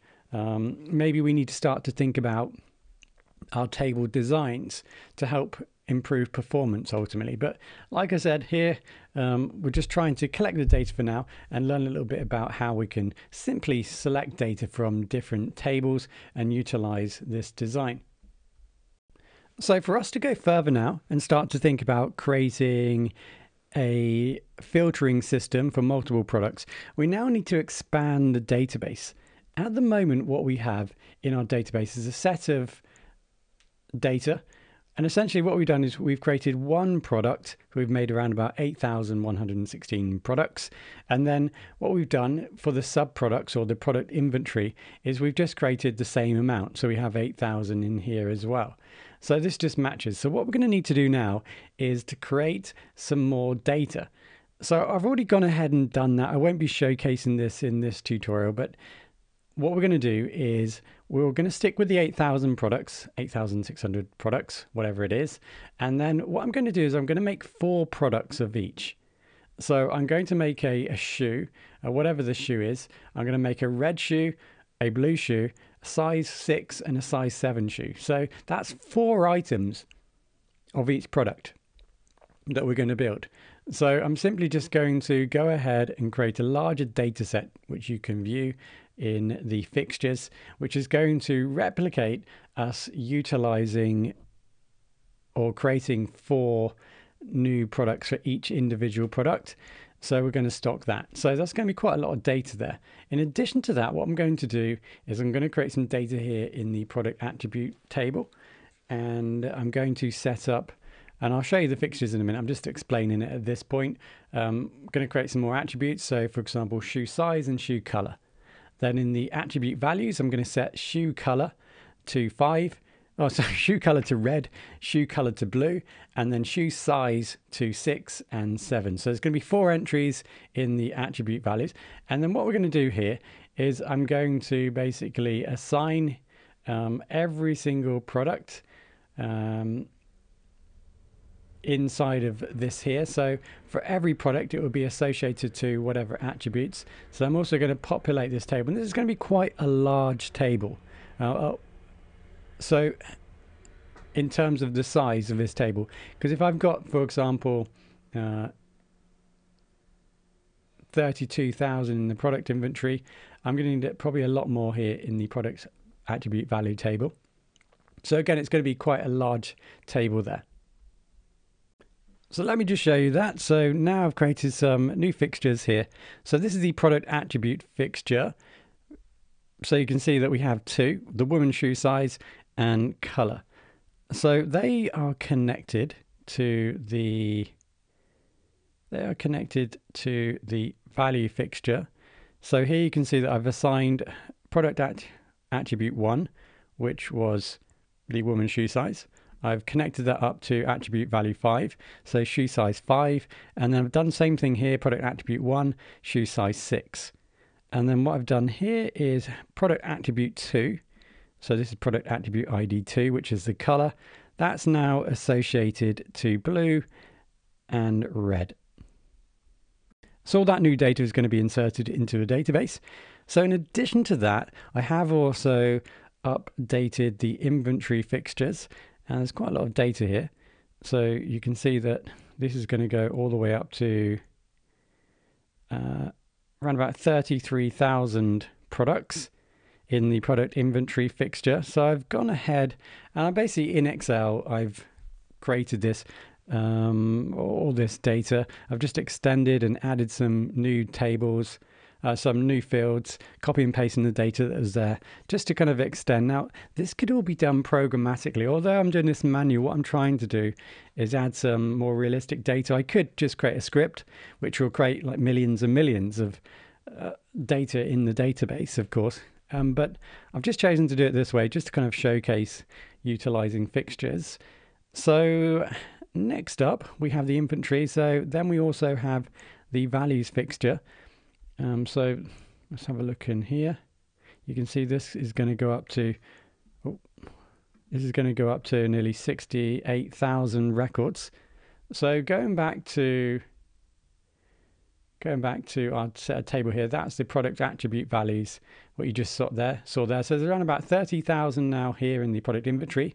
So remember that's basically two, uh, sorry, four lots of an individual product. Now, if you're kind of confused at this point, remember, for example, we may have a Nike shoe. That shoe, um, if we're going to stock it, would have different types. So it would be a red, blue, different sizes. So we'd actually have to store that in our inventory all these different items. So that's what we've done here. Those individual items are now stored here. Now they have different attributes. Those attributes are defined from the product attribute. So we define the color and the woman's shoe size, for example, in this case. And then we add some values to those attributes, which was shoe size five and six and color blue and red, I think it was. And then what we've done now is we've associated these attributes over to these products.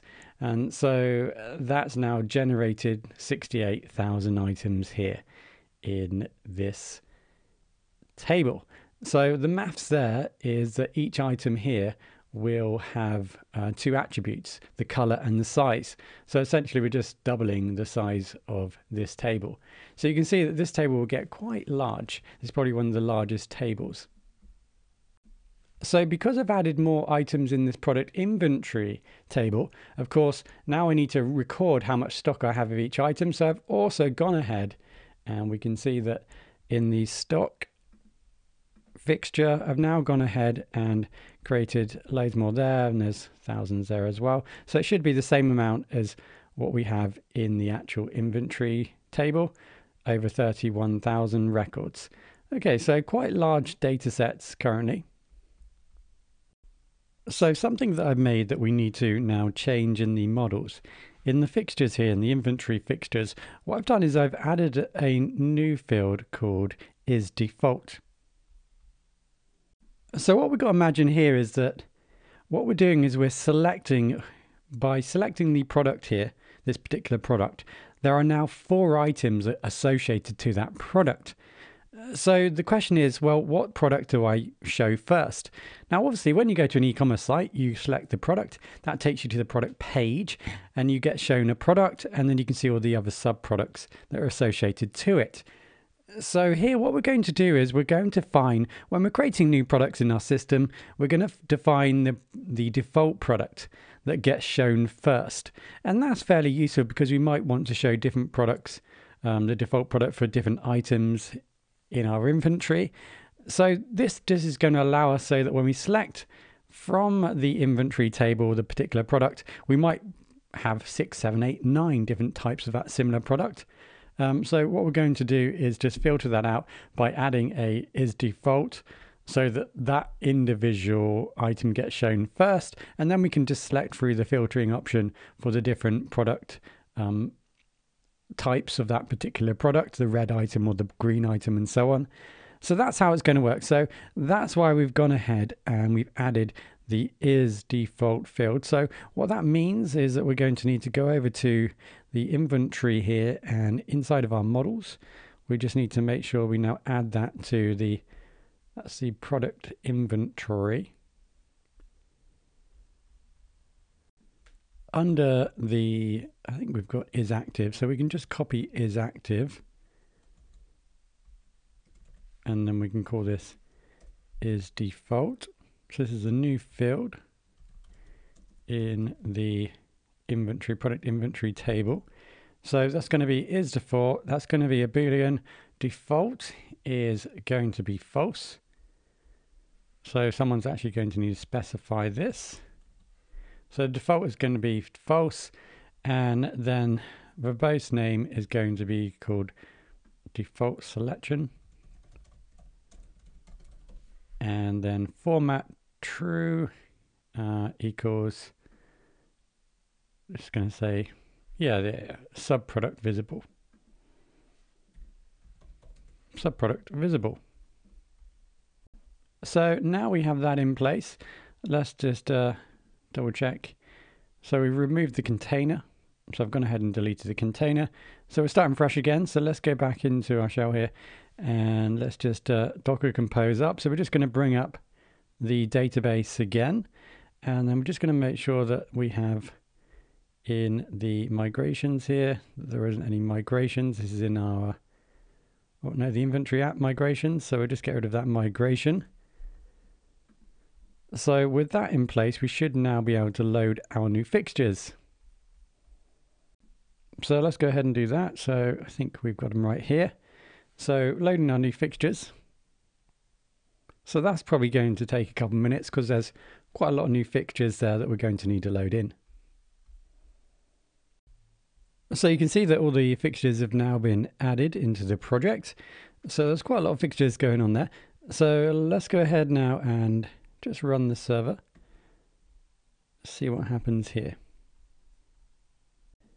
Going back to our products detail page, we're going to refresh and you can now see that because this product we now have four items of this product in our product inventory table. And that's obviously the blue size 5, the blue size 6, and then the red size 5 uh, and the red size 6. So you can see that we've got four items here. So now we've got an issue with our query. So now we need to think about how we're going to create a query whereby we're just going to select one. So this is where is default potentially comes in handy because we can now filter out these products and only show the one that's meant to be shown first. So let's go ahead and go back into our views And what we can do now is maybe just add another filter. So here we're going to add dot filter. And then this time we want to filter out uh, is default. So is default equals and then true. So what I've done in the data set is I've activated one of the items when I created the fixtures. So one of the four items will be set to uh, is default true. So having done that, let's go back here and refresh. You can see now we're just showing the one item.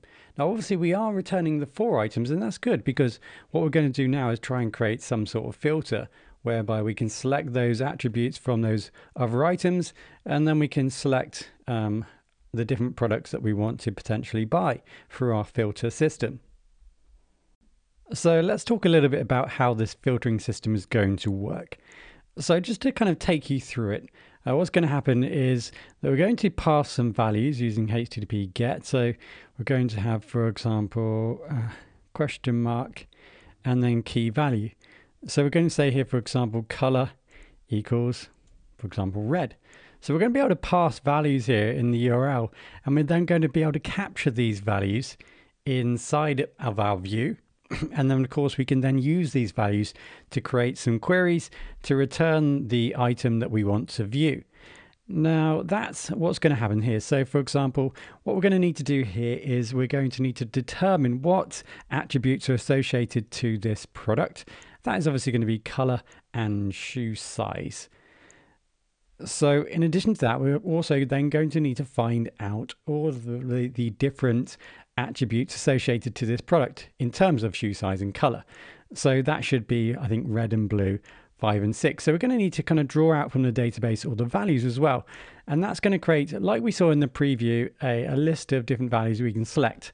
And then we're going to need to create some JavaScript and attach it to these items, these values here so that when we click on these items, that then changes uh, and sends us to the the correct URL and then adds the properties or the attributes here of the products. So they then get passed to the view. And then in the view, um, they can we can then run a query to capture that data and then select the right item. And then that would then return, refresh the page and return the item that's associated with these attributes here and the actual product name. So we're going to use the attributes, the color and the shoe size, as well as the actual product slug to actually then determine what item to show on the page. So we can see here then in our URL, we're adding some attributes here, color equals red. So we're going to pass that over to our view. So that's going to be captured here, or it's going to be sent in the request. So let's go ahead and create an if statement. So if request dot get. So if there are get values, then we're just going to print something simple like uh, there, hmm, there are values. There we go. So let's go back here. Let's just refresh. And you can see that they've been captured and it says there are values. If we remove these values and then oh, I'm saving it and then refresh, go back, you can see it doesn't say that. So we are detecting that there are some values being passed over, and now we want to capture them. So what we're going to do here, we're going to set up a, let's say filter, um, let's say filter arguments equals, and then an empty list. Okay, so we're going to need to tab that across. Okay, so we're going to fill up this list here with values that we pass over in our URL. So let's go ahead now and just create a very simple, say, loop. So for example, for value, for value in request dot get dot values.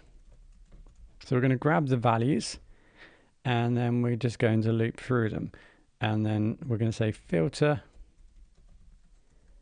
arguments uh, dot append. So we're just going to add to our list the value. Okay, so this case we're just going to grab these values. In this case, um, let's just create a few. So color equals red, and that's to add a new one. So we need the and, and we're going to now say shoe uh, shoe size equals 5. Okay, so let's go ahead and just uh, add a code on there. So we're just going to loop through all these values and then we're going to basically just update our list here, append that with the value that's passed in. So in this case, we've got two values here, color red and shoe size 5. So we'll just refresh with that and then we go down and we've forgotten to print it out. So let's go ahead and print that out. Do that again. So now you can see we've now gone ahead and we've now captured red and 5. So the reason for doing that is that we're going to need to utilize this information in order to kind of build a query. Because, for example, eventually we'll build a a filtering system here so by we can click on 5 for example shoe size 5 and then that's going to update this and send it across to the server refresh the page and return the right item and then there'll be an item here size 6 and then the size 6 will then change here and then we can then run the query and return the size 6 version of this shoe so go ahead and explore this. So what I'm trying to do here is go step by step. And I do recommend if you're new to this to try and maybe just stop, have a look very simple like W3 schools, for example, and have a look at how to capture these get values. So how to capture an individual value. Um, here is just a method of many methods. I've just tried to simplify it in a way that's very easy to understand, potentially, um, of just capturing those, um, placing those in a list here. But of course, there's many ways you can work with this. So let's see how we can utilize this list now in a query in order to extract the correct item. Right, so let's just take our query here. Um, we've got product uh, slug equals slug. Okay, so that's not a problem at all. So we're selecting by slug. So that's going to then select the item or the four items that are going to be then returned. And then filter equals, uh, filter equals, sorry, is default equals true. So I'm just going to remove that for now because um, what I want to do is I want to filter out these four items. So this should be returning four items again. So these are all the different items um, of this particular shoe with all the different attributes. So one of these will be red shoe size 5, one of these will be blue shoe size 5 and so on. So what I want to do now is try and filter that using my new system that I'm designing here. So let's go ahead now and try that. So what I'm going to do here first is I'm just going to extend this now and I'm going to add a new filter. So I'm going to say filter. Okay. So this is where it gets a little bit complicated. So we need dot filter, sorry. Okay, so we're going to make a filter. And what we're going to do is we're going to go to attribute, attribute um, values, underscore, underscore, and then attribute um, attribute uh, value underscore in and then we're going to say equals and then up bringing our filter arguments. So what is attribute value? So let's go back to our models here. So the product inventory table. So what we're doing here, you can see that we've selected attribute value. So we're using this many, many field to kind of traverse over to the other table. So let's just bring back our tables in here. So we've got in this table, apologies, not up to date, attribute values in this table. That's what we are saying. And then we're basically going to basically be selecting um, the values um, from this table. So what we're going to be doing essentially in this query is we're basically going to query from this table and we're going to say select the item in this table where the product attributes equal X and Y. And that's obviously the, the shoe size and the color, for example. So we're going to be able to kind of query um, utilizing these tables here by utilizing oh, by utilizing the attribute values. So uh, let's go back in here. So we've got attribute values and then attribute value. So the attribute value is a reference point to uh, this table here. um, the attribute value. So essentially what we're going to say is select all the items from this table where attribute value equals 5 and equals red, for example. Okay, so you can see that from our code, uh, we're utilizing these this list here. So we're able to pass in multiple items with this list, hence why I created this list here. So this is holding, for example, red and shoe size 5 or, or whatever we um, select from the get values. So let's just give this a go, shall we? So let's go back into um, here and now we're going to select color red shoe size 6. Now we need to be careful here, um, or it doesn't matter actually what what we type here because what we're not doing is we're not actually filtering via the name. We're just utilizing the value, remember. So it doesn't actually matter what we type here in shoe and color. This is just for reference, if you like. So let's go ahead and try this. And you can see that actually uh, nothing's happened at this point. So red and shoe size 6. So let's just try and answer the question, why are we still returning four items? Well, we're trying to filter based upon any item that has red an attribute of red, and any item that also has an attribute of 5. Now there just happens to be four of them because there's two items in the database which has attribute red because we've got the red shoe size 5 and the red shoe size 6. And in addition to that we've also got two items that has the size of 5. So we have the blue item shoe that has a 5 size 5 and then we have the red item that has a size 5 as well. So what we try and need to try and do is we need to try and make a filter whereby we say, in actual fact, we're looking for the product that has both red and five, not any that has red or five, but red and five. So we're going to need to kind of make a very kind of complicated query now potentially that's going to match the two items and not the one item. And that then should produce one item um, on our page. So the first thing that we're going to need to do is use annotate. And we're going to need to count how many items are inside of our filter here because we want to basically say this item that we're trying to find has both of these attributes. So two of these attributes. So it must have two of these attributes. So what we're going to do is, apologies for repeating myself, um, we're going to use annotate. So I'm not going to explain at this point what annotate is for, etc. It's just worth going into the Django documentations and doing that. So we're going to use annotate in order to kind of generate a number. So we're going to say number of, let's call these tags, um, equals, and then we're going to bring in count. So you can also really see that I've imported that already. I'm just going to leave it here so that we can see that we brought that in uh, for this specific query here. Um, so this is going to allow me to count. So what do I want to count? Um, well, I want to count, for example, the um, attributes, attribute, attribute values. Okay, so okay, right. So annotate number tags equals count attribute values. Right. So what's happening there? Well, what I'm doing here, if you imagine this list here, if I were to say to you, which one is, if I counted the attributes, which one is going to match red and five? That's what we're saying. So does this product match, um, does this have an attribute of red and five? If it does only have one of them, then using annotate there is only going to produce one item or one, basically, it's going to be returned. Now this item might be here, the product of this shoe that has both attribute red and size 5.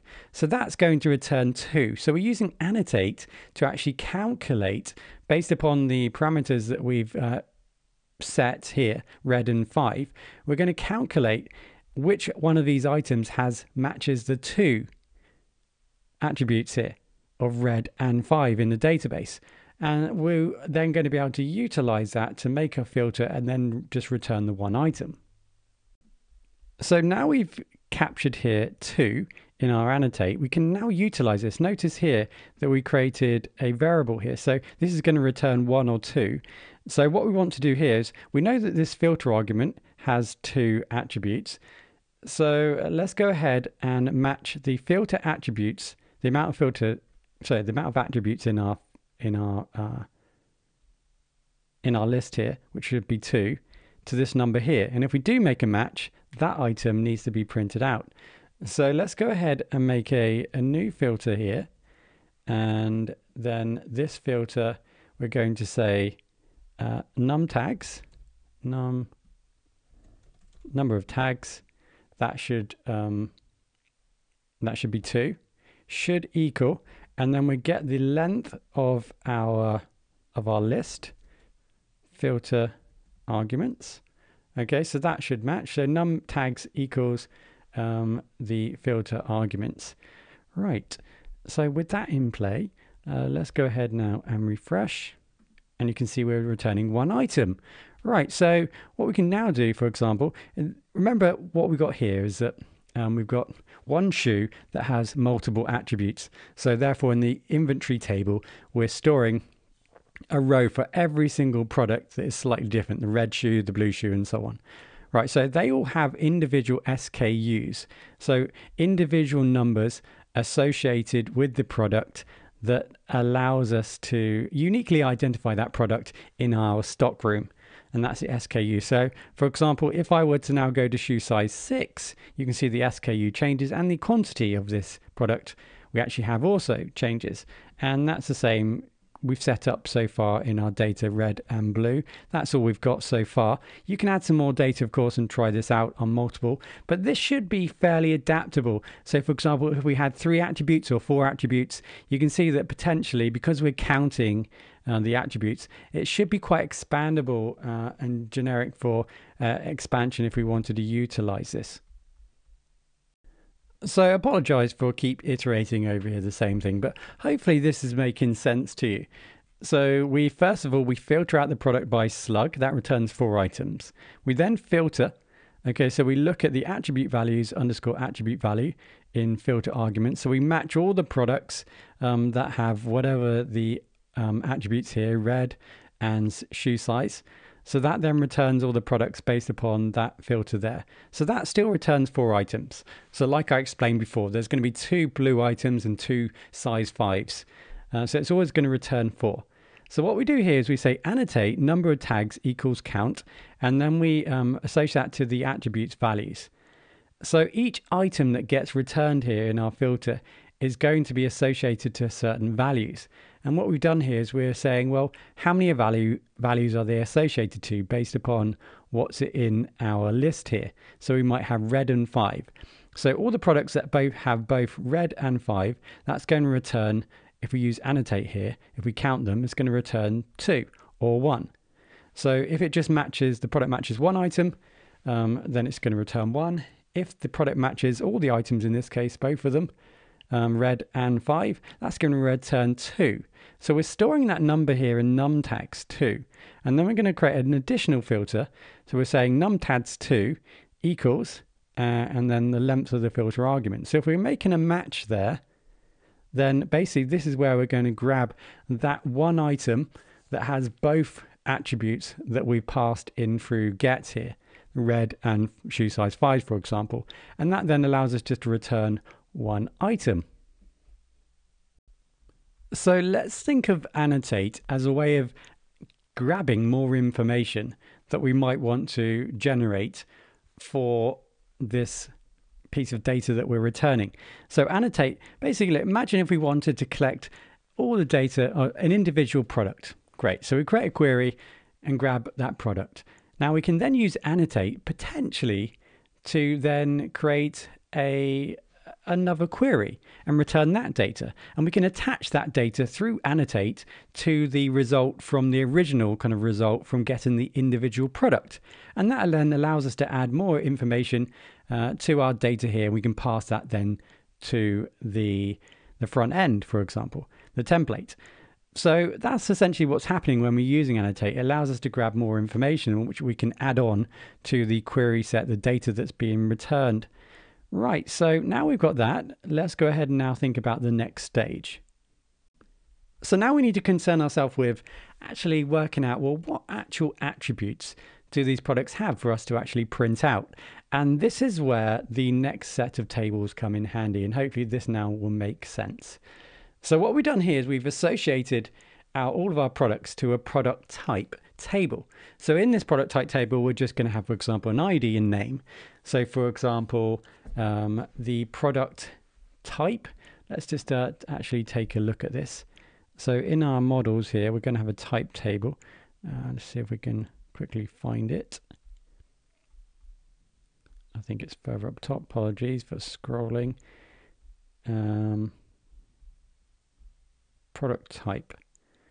Okay, I think I've called it product type. Okay, we go for that. So product type table just has name. Okay, so here the name is just going to be the, well, the type of product. In this case, I think in our fixtures, go and have a look. I think our fixtures just has, for example, one type, which is shoe.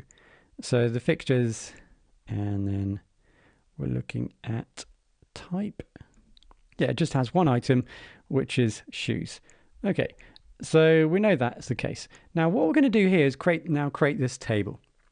Because what we're going to do is we want to collect all the attributes associated with shoe. Now, if you just think about this in kind of a, management perspective, like imagine kind of the admin interface for adding new shoes. So, for example, you want to add a new shoe. So you go and select add new shoe. Right. So your system might include multiple items, different types of items shoes, books, and so on. So we have a product type associated to each of your product types. So imagine in this interface, we're in this interface now, we select add new product, and then we select shoe. So what we want to do at that, that point is we want to then have a nice list where we have shoe name, price, and so on. But in addition to that, we want to be able to add values, like attributes, to that product.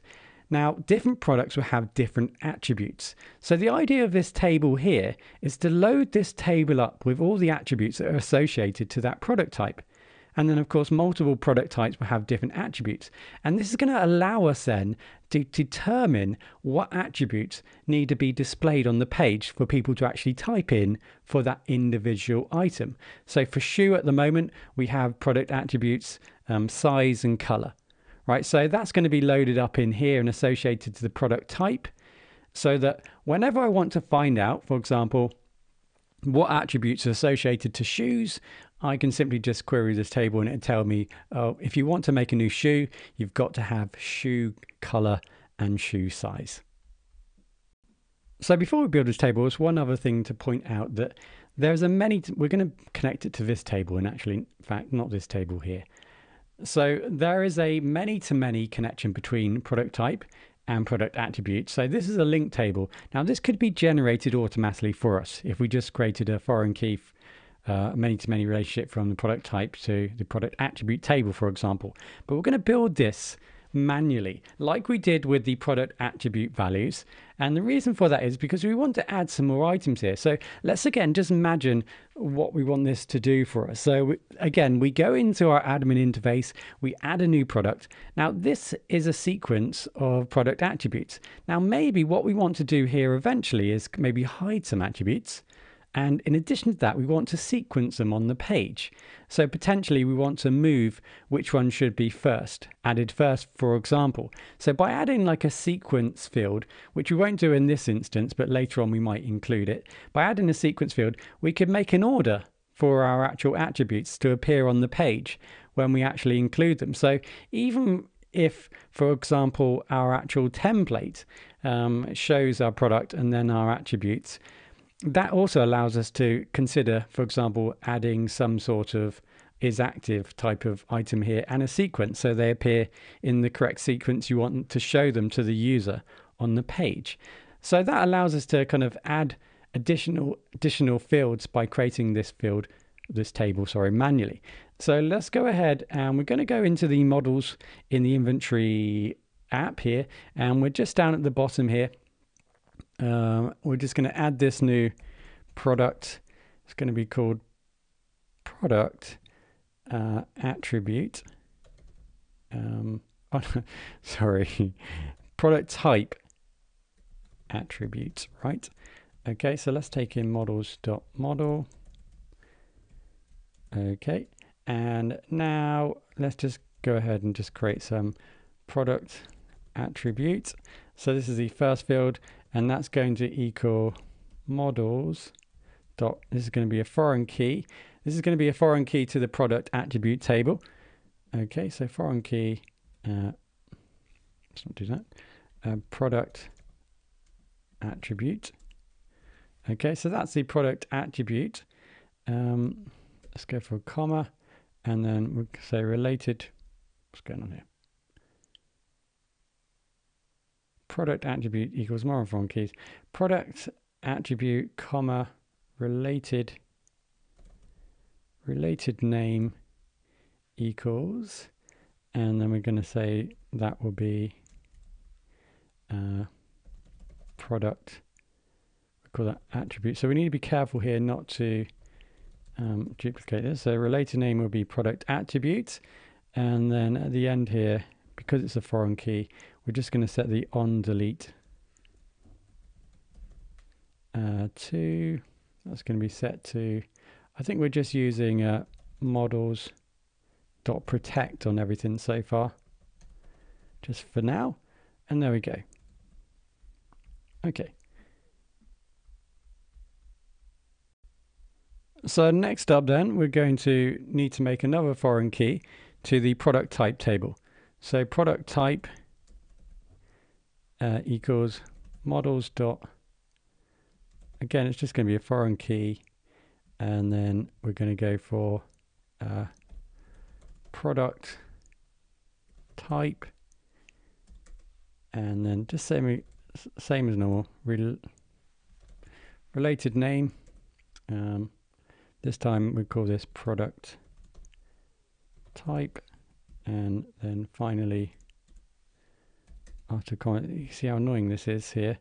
Um, then next up we have on delete equals apologies for these boxes I've not set everything up yet on this machine. Uh, protect comma. Okay so that's our second and then we'll just go for a class uh, meta something simple. Uh, so we're going to say unique uh, together so these items need to be unique together. So we shouldn't have an item in this table red and 5. We shouldn't see that, for example, uh, so we shouldn't see, um, in this case, it's going to be type and attribute. So they both need to be um, unique. Okay. It's getting a bit late, to be honest. My brain is... Uh, starting to hurt. I didn't explain that at all. Product attribute, uh, and then the other table, which is product type. Okay. Okay, so they need to be uh, unique together, and then there's going to need to be a comma at the end here, maybe. Um, what have I done wrong here? Um, comma, product type.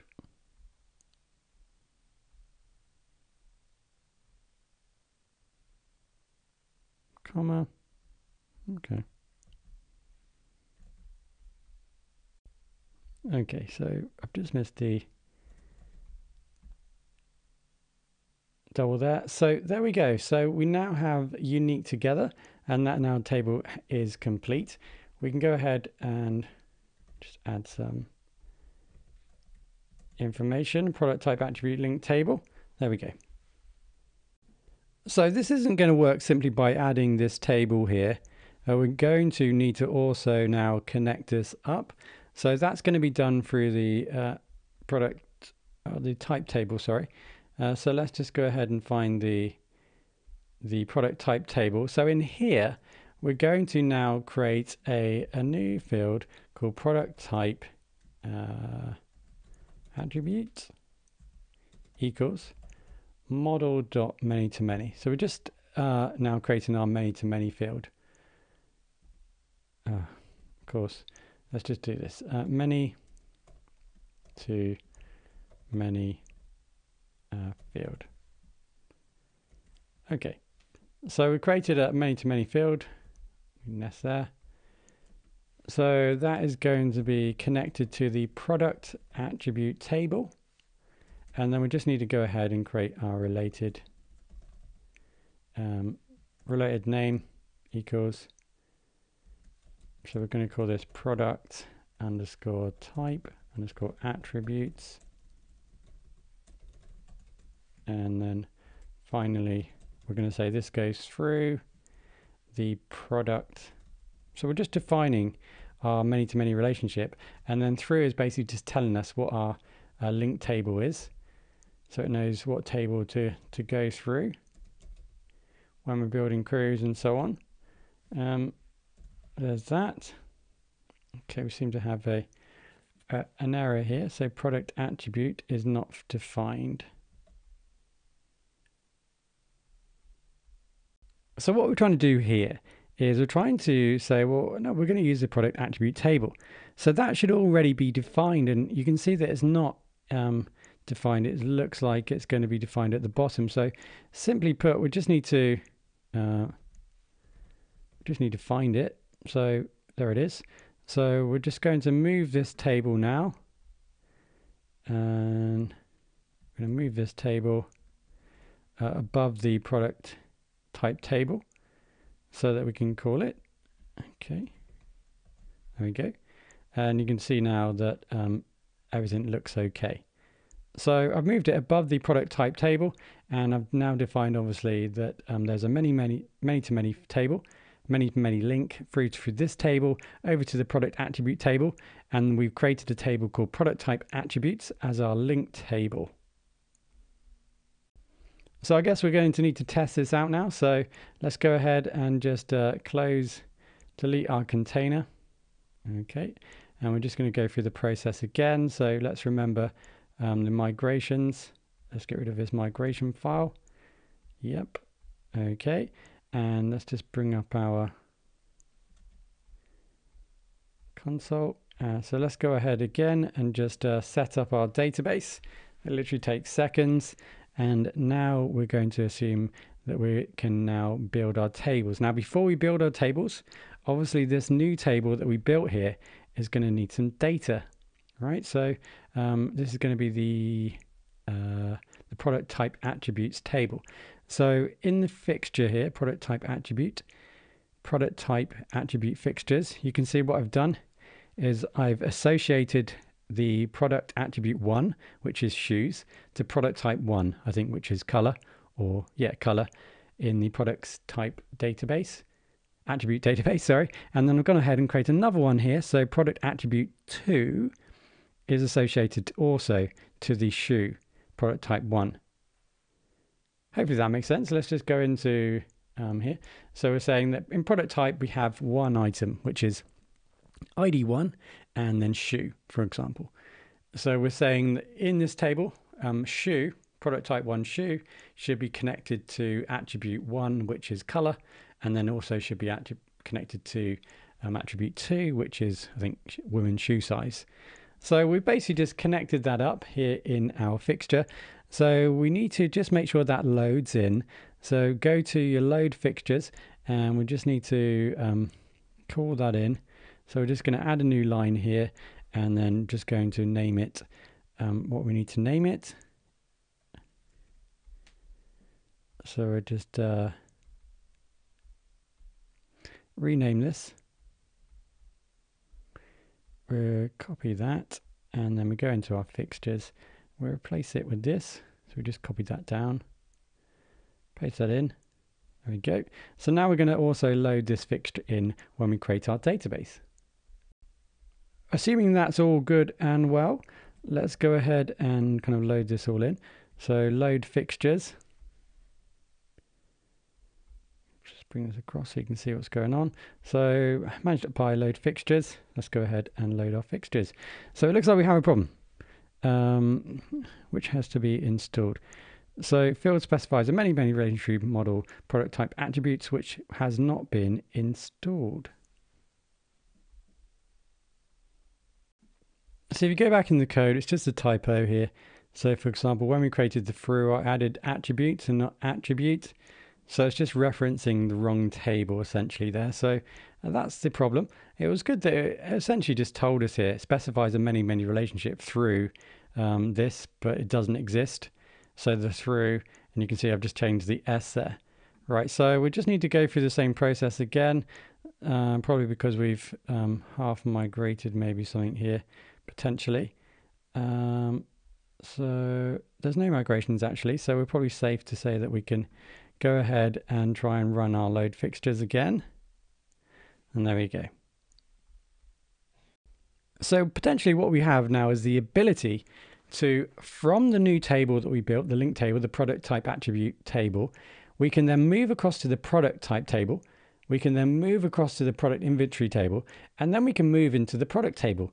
And we can then utilize that kind of method to match all the products related to that particular slug, um, that item, and we can then relate that all the way back to the product values. Because essentially, by understanding what product we're working with, we can then work backwards to see what type it is.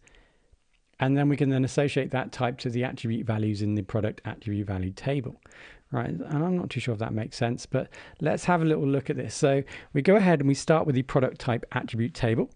We then go ahead and create a filter. So we move across to the product type table. And then we move across to the product inventory table. So this is the foreign key connected to uh, this table. And then we move across into the product slug table. So into the product table and then look for the slug. So that's going to equal whatever the slug is being passed in. So at that point, we've grabbed the specific item related to this slug and then we work backwards. We get the product type which is going to be shoe and then essentially we're just matching that to all the items in the product type attribute table. And that's then going to give me a list of all the attributes associated to that particular product. It seems a little bit long-winded um, so that's how it's going to work. So my next question is what data do I actually want to display so we started here, we've then moved across to here, then moved across to here, and moved across to here. We found the product via the slug, and then essentially we're then being able to kind of work backwards and identify what product type that is.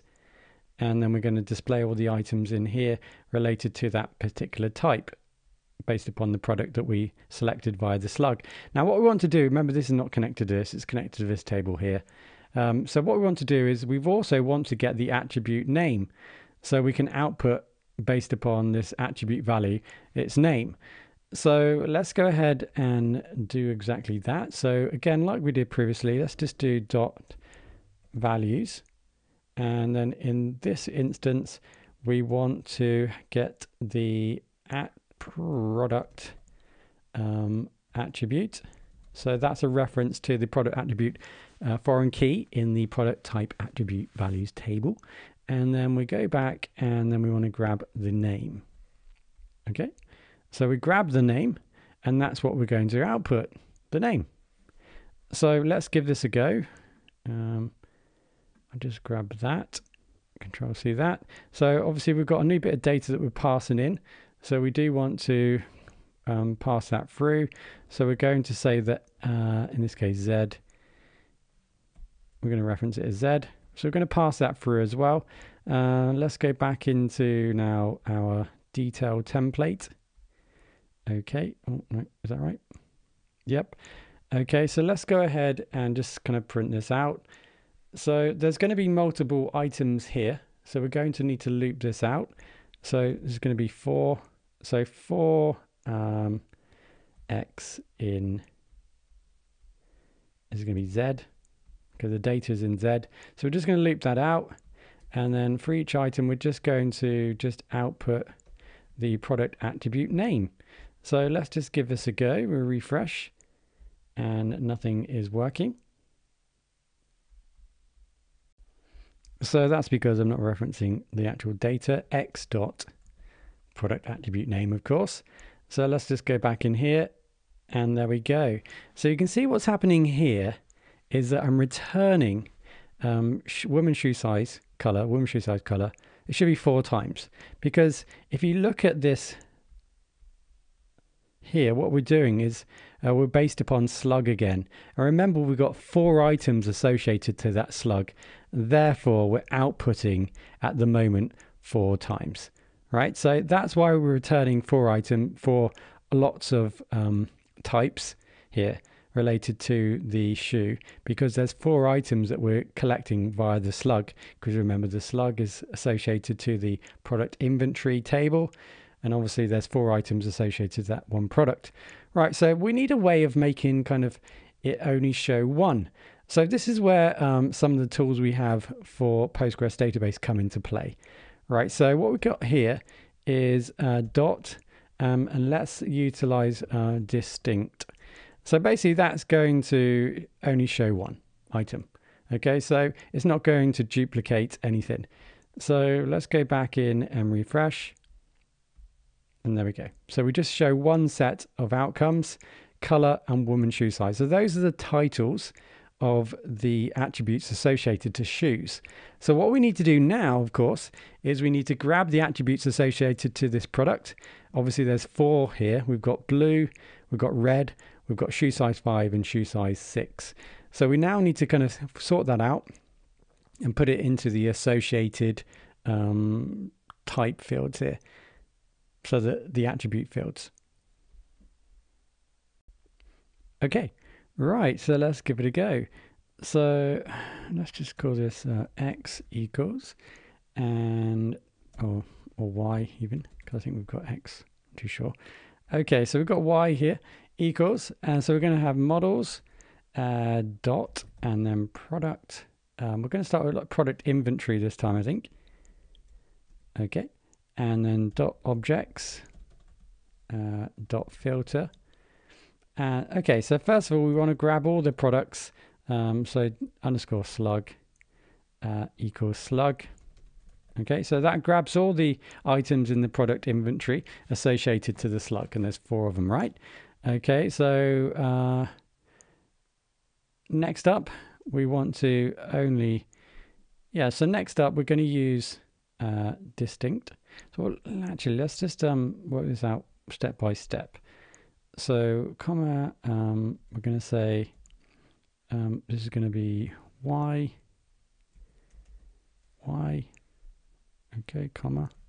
So that's obviously at the moment only going to produce um, the four items. So um, let's go ahead now and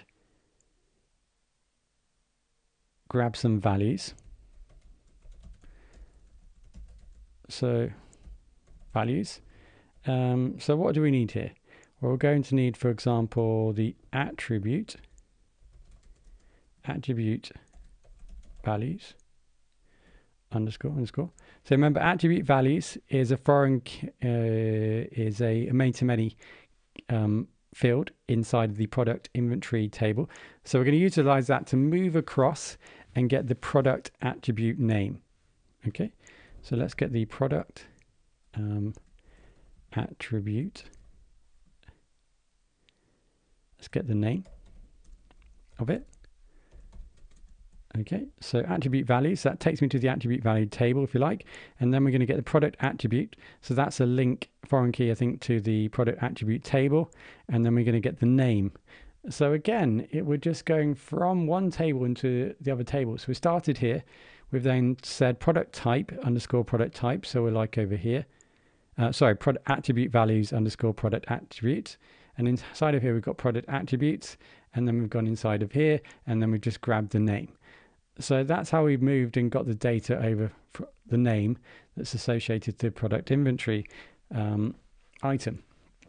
Okay, so that grabs the attribute value names. So let's go back here and then we want to also grab the value, right? So we need to get the value as well. So that's going to be attribute um, values attribute uh, value. So we're going to go into the attribute value table, uh, values table, and then just grab the attribute value. So that's going to return, would you believe it or not, the attribute name and the attribute value for this item. In this case, there's four items. So at this point, we're probably going to get four set of the same information. Right. So we passed it over as Y. So let's go into here and we can go ahead and just uh, loop this out, right? So for um, x in, in this case, y. Let's just uh, let's print these out. So let's just grab that. Mm -hmm. Okay, so we're just going to remove those. Put that there. And put that there. Okay, so just uh, going to create a list here. So in this case, uh, what we're going to need to do here is a bit long-winded, but it's going to be uh, the attribute values. Uh, let's get this right. So it's going to be attribute values. It's a bit of a long-winded attribute value, attribute name. Okay, so just here, uh, this is going to be x. Let's get the the value name, and then let's just go ahead and say uh, colon, and then let's just grab the the value. So we grab the value x dot Okay, so we're just going to display the name and the value there. Uh, so we press save and then just go back and then we can refresh. And then we get an error here. Cannot resolve keyword attribute value in field. Choices are attribute. I've spelt it incorrectly. That's why. So let's go back here. Um, missing a T somewhere. Okay. And obviously my template is going to be wrong too. Okay, so let's uh, refresh that and there we go. So you can see, like I said, because we're selecting four items again, we're going to get uh, lots of uh, duplicates here.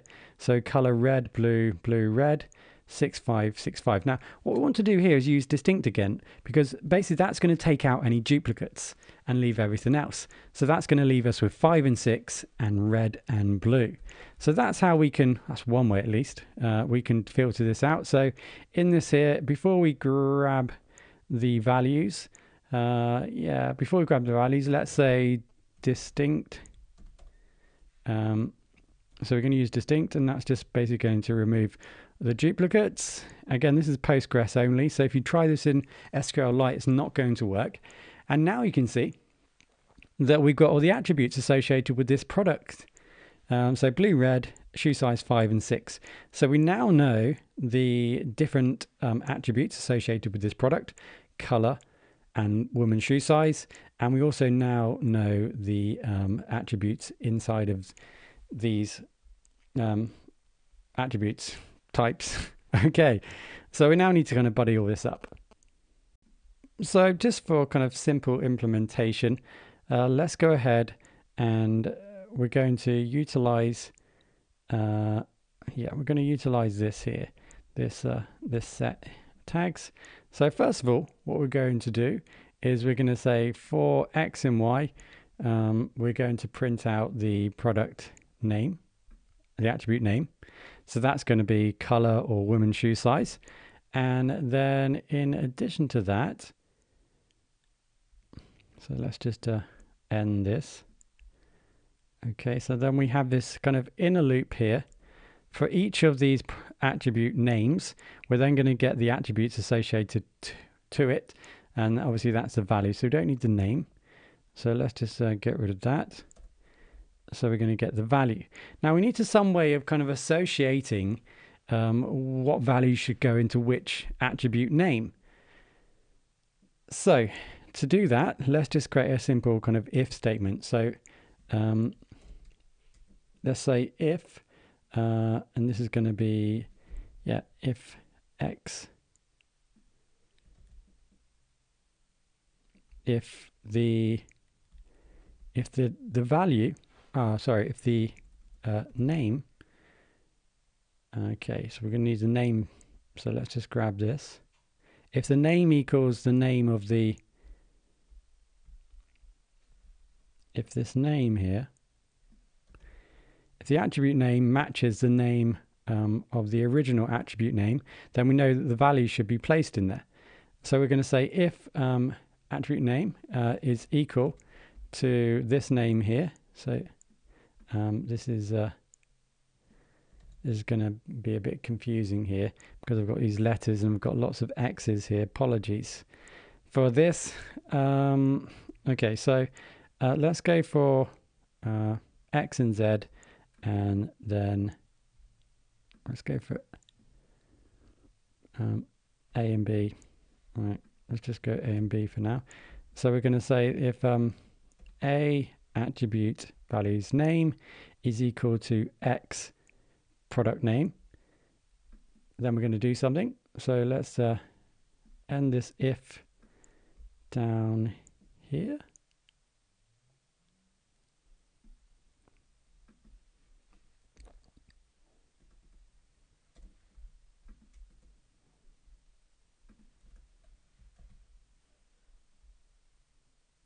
Okay.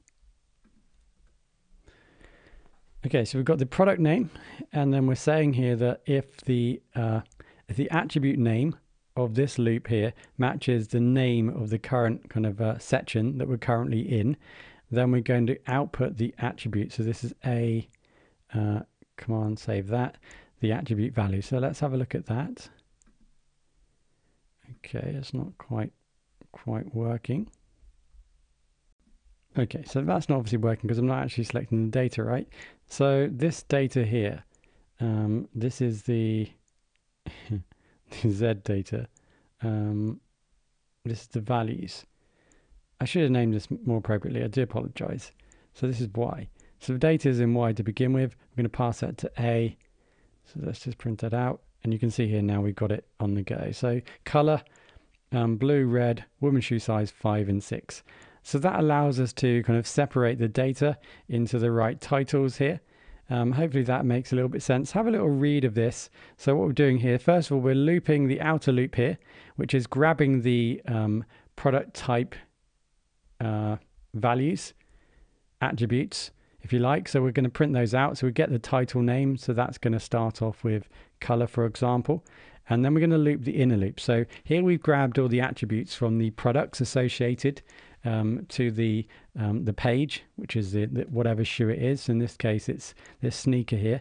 And then we grab the attributes attributes associated with that, and we match the name of the attribute to the um, the name of the current title attribute here that we're trying to collect the attributes about. And then you can see we've just kind of printed those out there. And then we grab the next title um, from the product type value, a woman's shoe size, associated to the shoes. And then we just grab those values there um, that have been grabbed from the individual product. And then we loop that out too. So hopefully that makes uh, sense of what's happening in this little bit here. We now have um, all the attributes associated to uh, this product laid out. So now what we need to do is we need to find a primitive way of so that when we come to this page, we can select these items here and then that then changes the page and changes the item. So basically what we need to do is, like we've done earlier, we need to click on one of these and it passes that over to, um, passes it over here to the URL and then it sends it off to the view and then refreshes the page and then shows us the new item. Let's just tidy this up a little bit. So uh, I'm going to create a new uh, list here and then that's going to end. Okay, uh, so that's the kind of outer list. And then for this, I'm going to make a another list here, right? So inside of here, I'm going to make another list. Um, cool. And then inside of here, we're going to create a, a new list item. Yep, like we've got here. So let's just uh, try that out. There we go. Um, we've got a random, because we've not ended, I bet, one of these items properly. There we go. Okay, so that lays out a little bit more effectively for now. So at this point, we are now at a junction where we've now completed, if you like, all the um, aspects of the back end that needs to take place at this point. Um, what we are going to need to do here in actual fact is potentially we're going to need to run two queries. So depending whether or not we've got to that page um, and there is kind of get values. So if you think about it, so we go to the product page um, and that's going to show at the moment it's not showing anything at all. So we're going to need a query that shows one item and then we're going to need also a query um, that when we add some uh, parameters here uh, some attributes and pass them across, then we're going to need to show that page uh, separately. So potentially there's two queries here that we need to run. So let's just uh, separate this. So um, we're going to, uh, I think we're going to run this because this is our filter when we've added items. So if there is a re request here, we're going to run this. Let's just tab this across. So if there is um, get information, uh, if there is values, then we're going to run this. Um, else, we're going to run another query. And that's just going to return um, just one item, right? So let's just grab this data equals filter slug.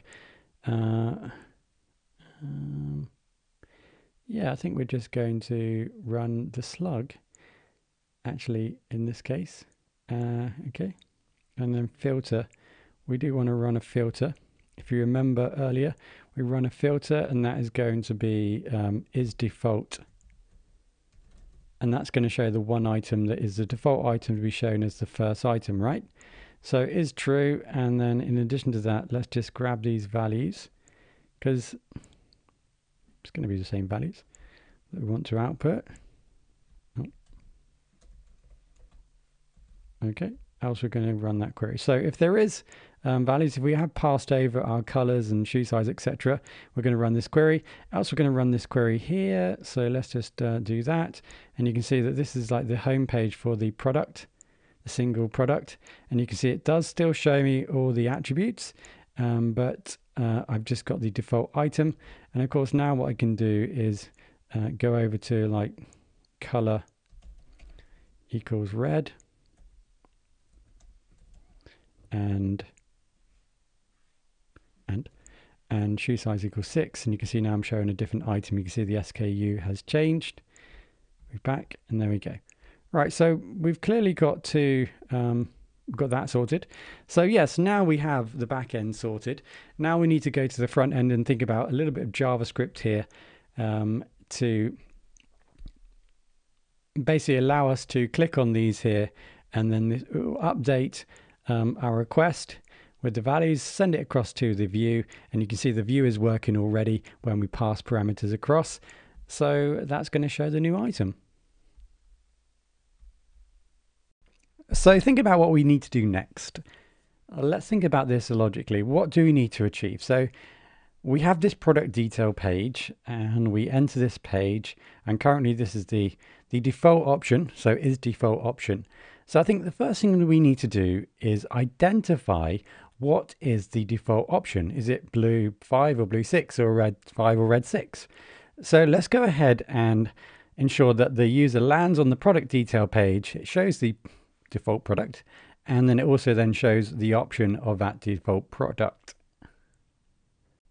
So currently we return this product and currently the query that returns this product doesn't actually return the actual attributes of this product. So what we need to do is manipulate or change this query so that not only we return the product detail information, but this product detail is returned in addition to the actual attributes that are associated to this particular product.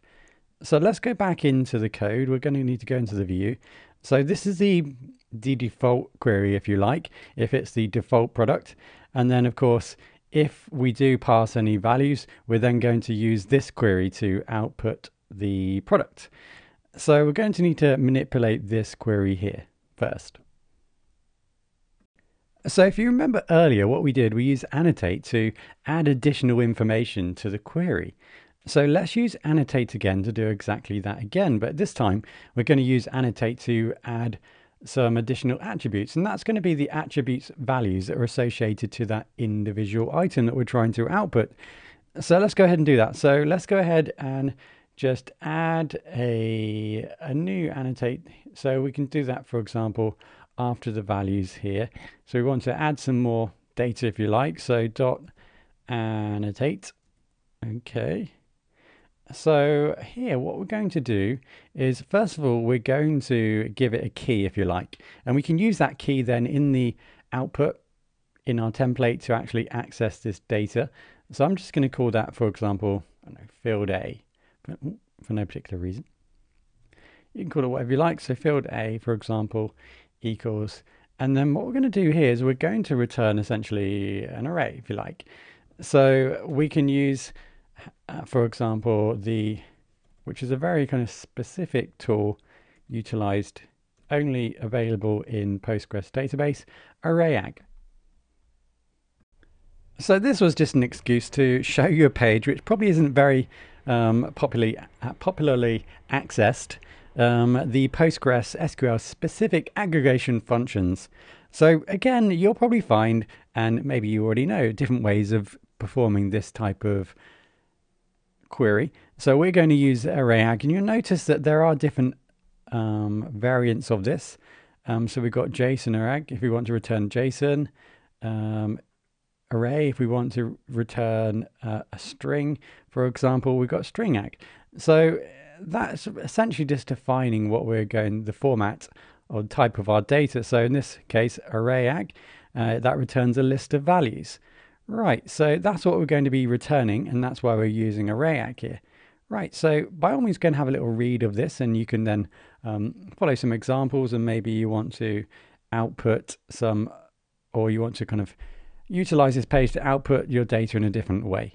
Right, so with that in mind, let's go back here. So ArrayAgg, and then what we're going to do here is we're going to define um, the data we want to create in our list. So um, let's grab some data. So attribute uh, values.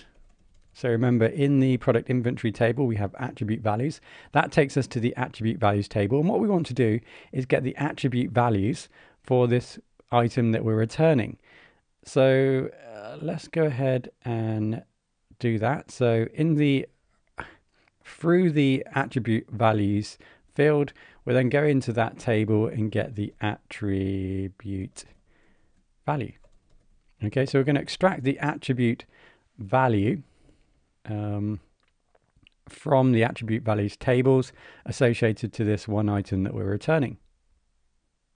So you can see that it's causing an error here because we haven't imported this in. So I'm just going to do it here. You would probably do this in the top, right? Uh, import these resources in, but I'm just going to do it here so you can see this django.contrib.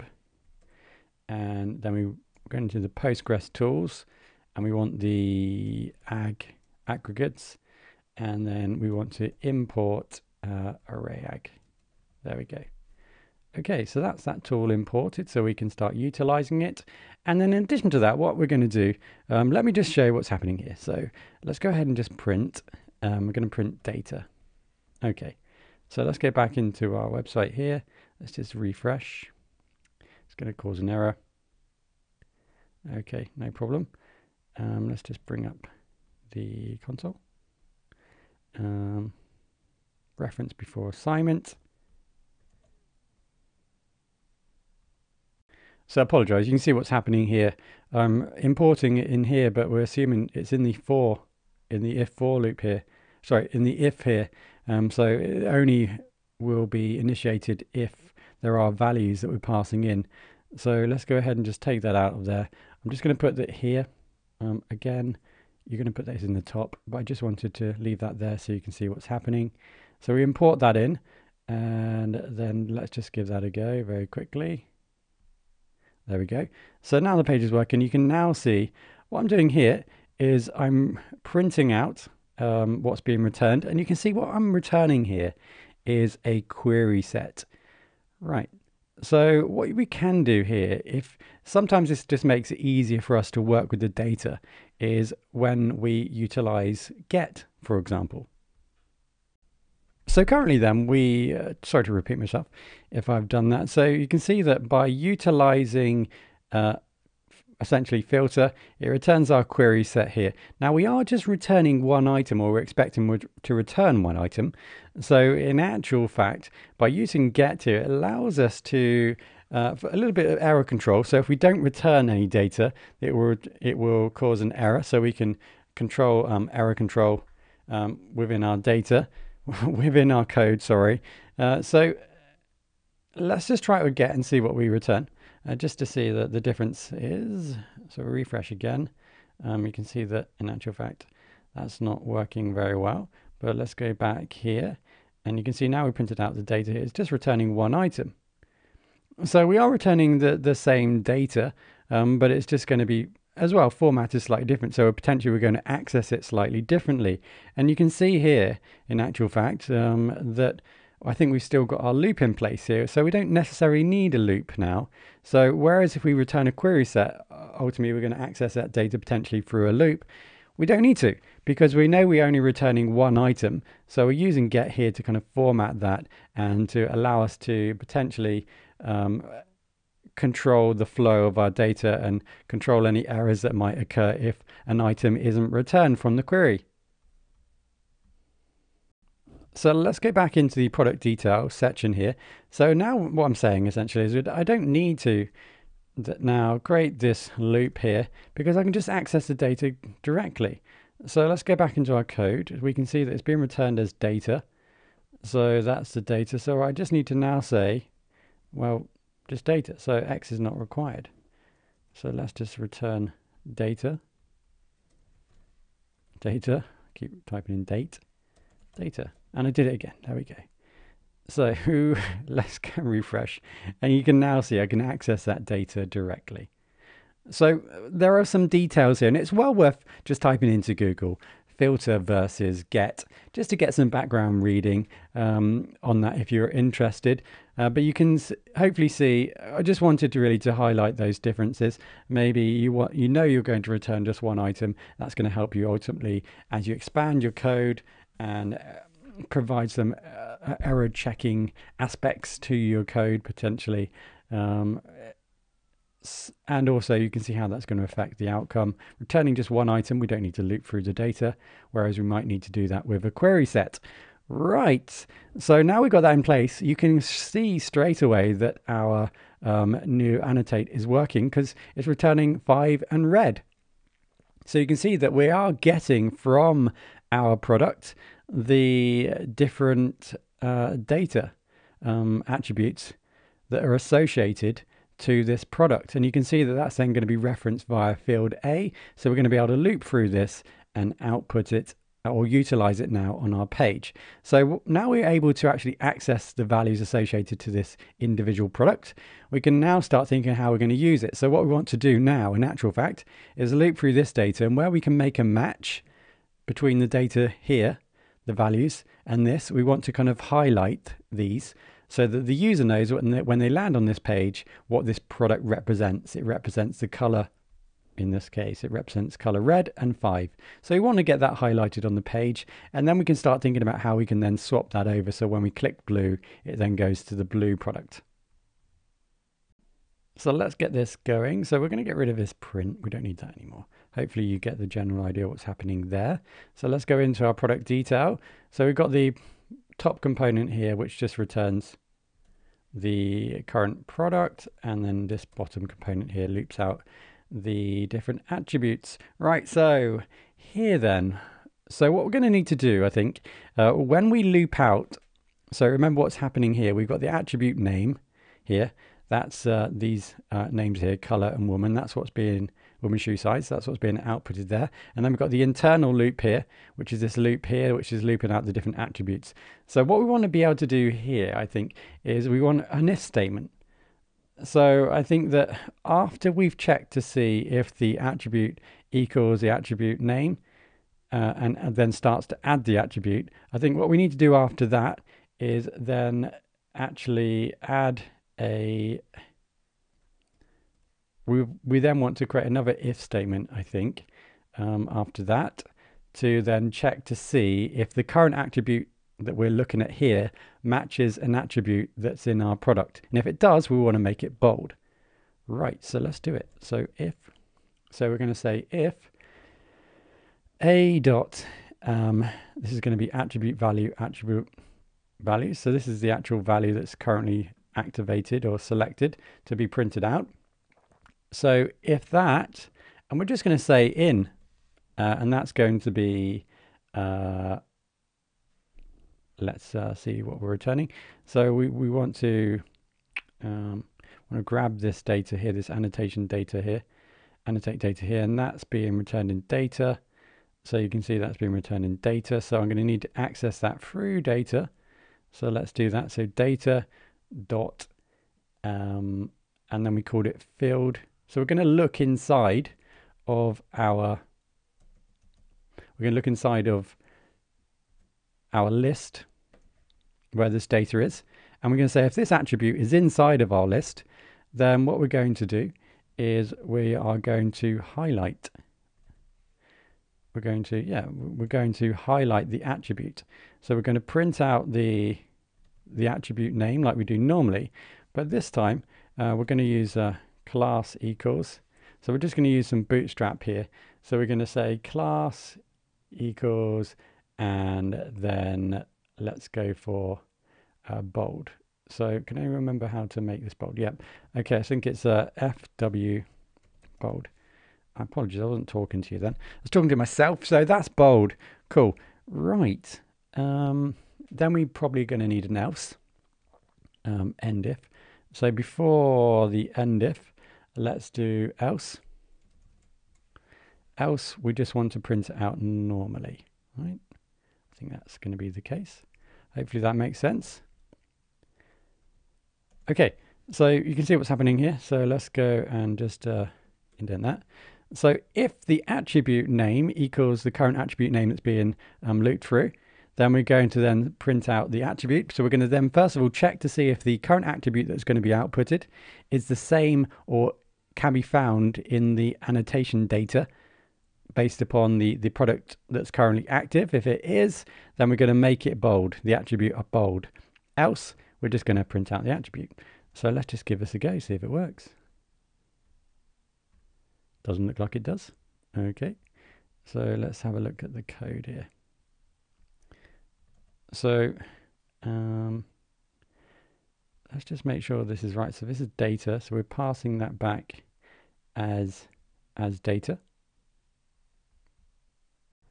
So this is a type of situation where we kind of just need to work backwards a little bit. So let's just print out again data just to make sure that the data is being returned. I think that's the first thing. So we're running this query. So let's just make sure that we're running and returning our field A aggregate data. So let's just go back and uh, refresh. So you can see here that we are. So in field A, we have five and red. Okay, so those are the, the two uh, data attributes that are being returned for this product. So I think we can be safe uh, in that that is actually happening. So let's go ahead and let's just print this out. So uh, let's say uh, data field A. So we'll just go ahead and refresh that. And you can see that we are returning 5 in red. So to access that data, it's definitely data.field A down here. So we're pretty comfortable about that. So now I'm thinking maybe this class is incorrectly. So let's just type something random there. So if that works, then we know that this if statement uh, returned true. So let's just go back here and refresh. So you can see that actual fact, it looks like it's working okay. So it looks like potentially that um, it looks like potentially this isn't working correctly. So maybe our bold class isn't working correctly. So let's go ahead and just take this out of the link here. We're going to bring this down. Um, we're going to put this into a separate container. So div class equals. I think I've already done that. Class equals that. Okay, so let's just go ahead and finish that. Let's go back. Okay, so we still don't have bold. And then it just hits me. Okay, so the reason why this isn't working, because we haven't extended from the base yet. So like, for example, the index we extended from the base. Uh, and remember the base actually had the bootstrap CSS. So in base here, we had the link to the CSS for bootstrap as well as the JavaScript. So that's what's happening here. Apologies. Um, so we worked this out. So let's go back up the top here. Let's just make this sure it extends from base and that's going to bring in all the CSS. And so when I refresh now, it doesn't work at all. Right. That's because, um, come on. Okay, that's because obviously I need content, right? So let's uh, create a new block. Let's call this content. Um, let's not forget we need that. So these are just skills that we learned earlier. Okay, so that needs to go into the content and then hopefully now. And there we go. So we've highlighting here red and five. This is the attributes of this current product. So now we're on the last phase.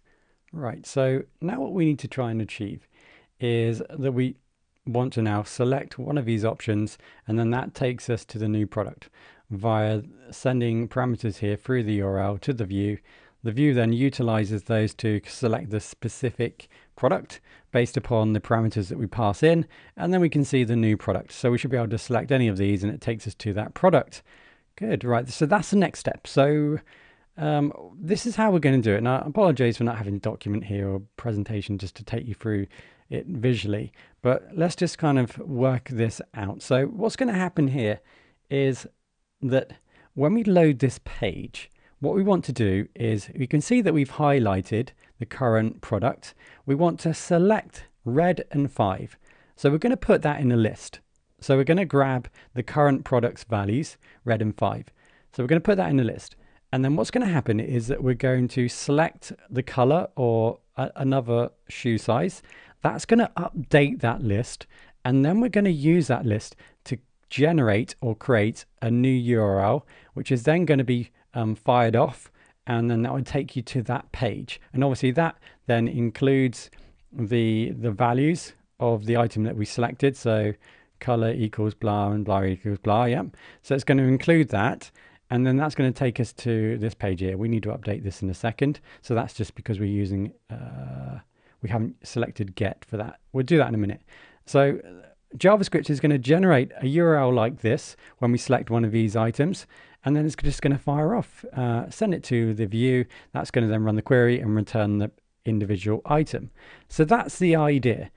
So just to reiterate, apologies for repeating myself, but what's going to happen here is that we land on the default page. Okay, so we then select blue. What's going to happen behind the scenes, when this page loads, we're going to record the current item's values. We're going to store that in a list, for example. So when a user selects blue or six or whatever, what's going to happen? It's going to update that current list with the new item. And then we're going to use that list, that list to then create a new URL. And we're going to get the current URL and then we're just going to extend that and add the new values based upon what the users clicked. And then that's going to fire off to the view and then return the item. So that's what we're going to be doing next. So let's go ahead and try and achieve this. Right, so we need to know a few things potentially. So we need to know, for example, what items are currently selected. So for example, here, this item here is currently selected because it's in bold. So let's give this a new class of also selected. And we can then utilize that to actually select the items on that page that have been selected. We can use this class to actually select this value. And of course, the values that aren't selected, they don't get this class. So that is a way of then just us selecting the values that have been or do have the class selected associated to it. Okay, so that's the first thing. So secondly, potentially, um, in order for us to do that, we're going to have to grab all values um, in all values that are currently printed. So let's go ahead and give this an ID. So we're going to say ID equals, and then for example, target, uh, and then let's just give it, oh, apologies. Let's just, um, let's just go ahead and say a dot attribute values, which one we got? Yeah, this one, this one here. So that's going to output the name um, the attribute value, sorry, that's going to attribute red or the number, for example. Okay, so that's an ID. So I can use this ID to then actually um, select this item and then we can do something with it. So let's go ahead and just add this ID down here in our list item.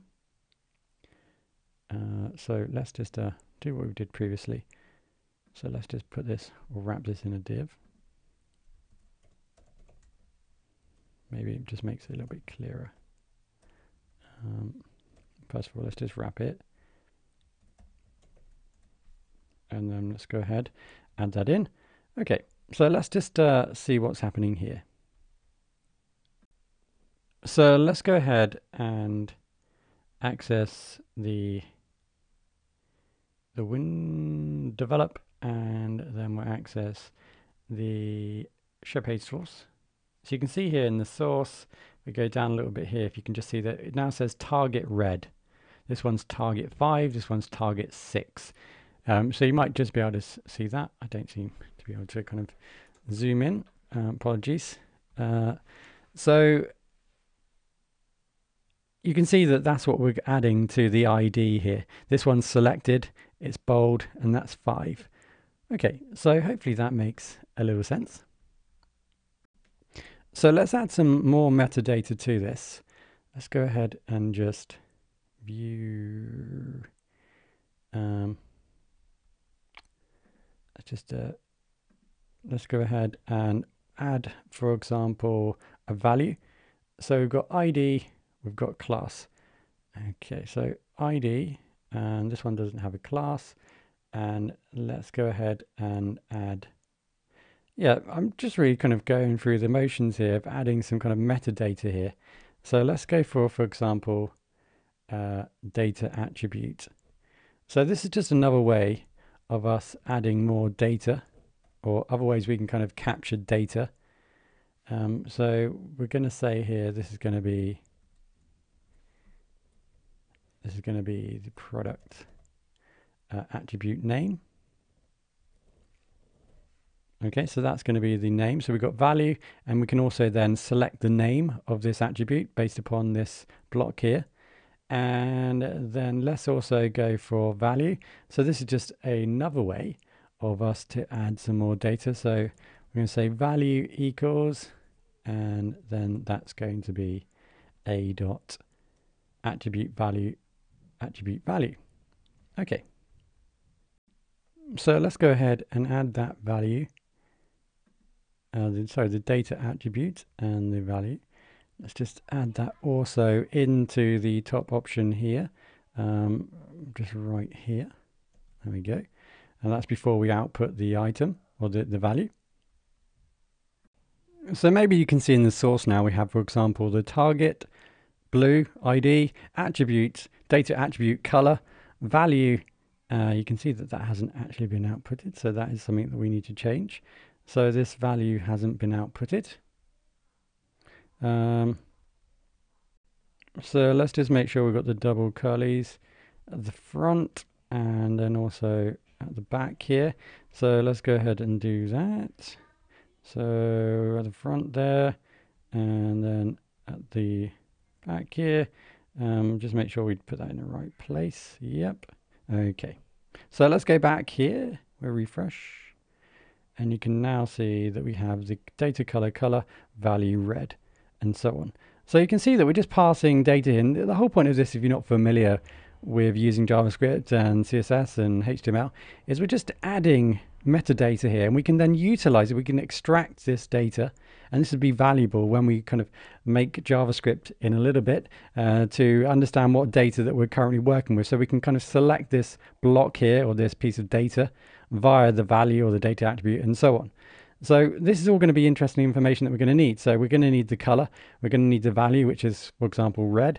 And that will then help us, like I said, create some if statements and conditional statements and so on for us to select the right items on the page. So now it just happens that every time there's a bit of data um, being outputted, a value or an attribute, sorry, being outputted, then it has an ID of target and then whatever the attribute is. So we can now go ahead and extract all of these values and get them ready uh, to be placed in a list, for example, or in a dictionary or an array um, with JavaScript.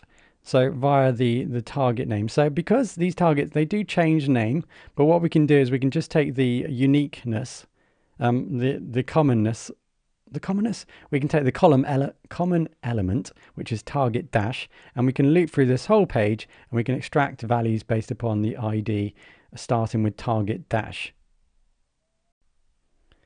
So let's go ahead and type in script. Okay, and then let's go ahead and create this uh, this va variable. And let's just call it for example text boxes. I don't know why text boxes. Um, so that's where the text is. We could have called them values. Um, equals document. So we're going to go into the document. We're going to use a query selector. Selector.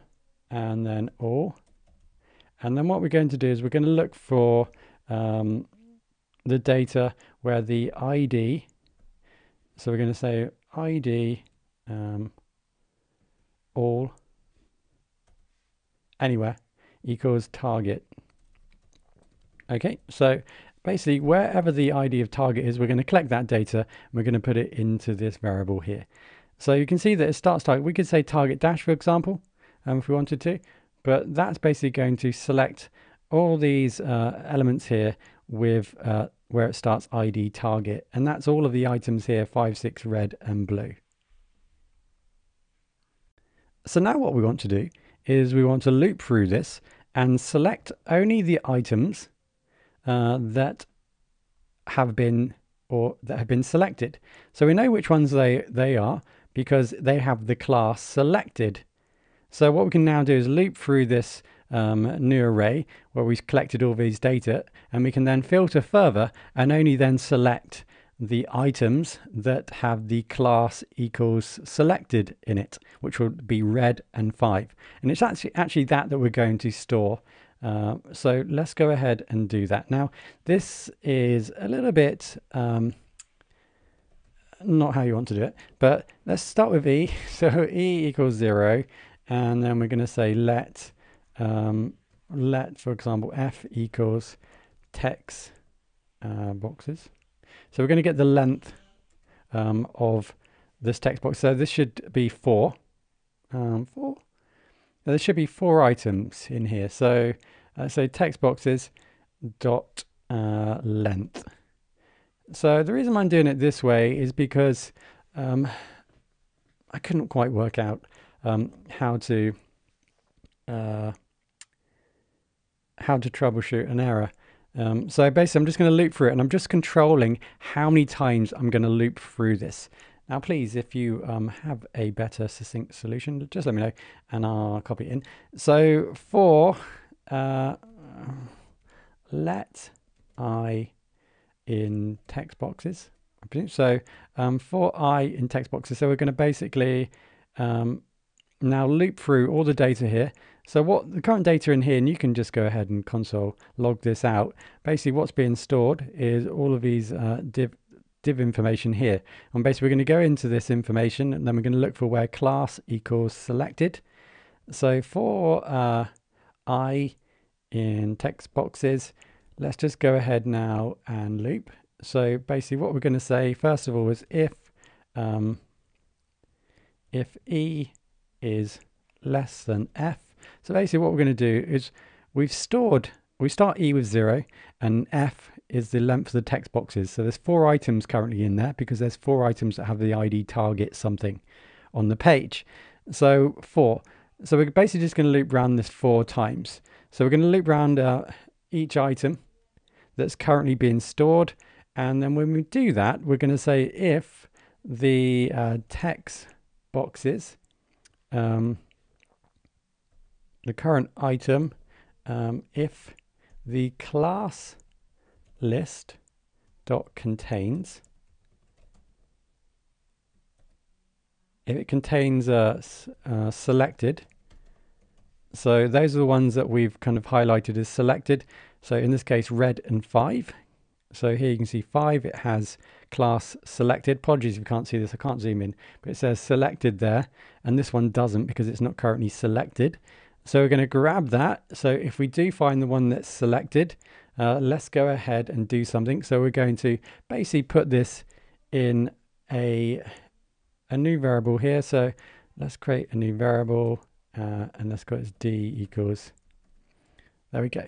Right, so we're going to store it. So d um, text boxes and then i uh, dot uh, this is going to be what get attribute. And then we want to say data attribute.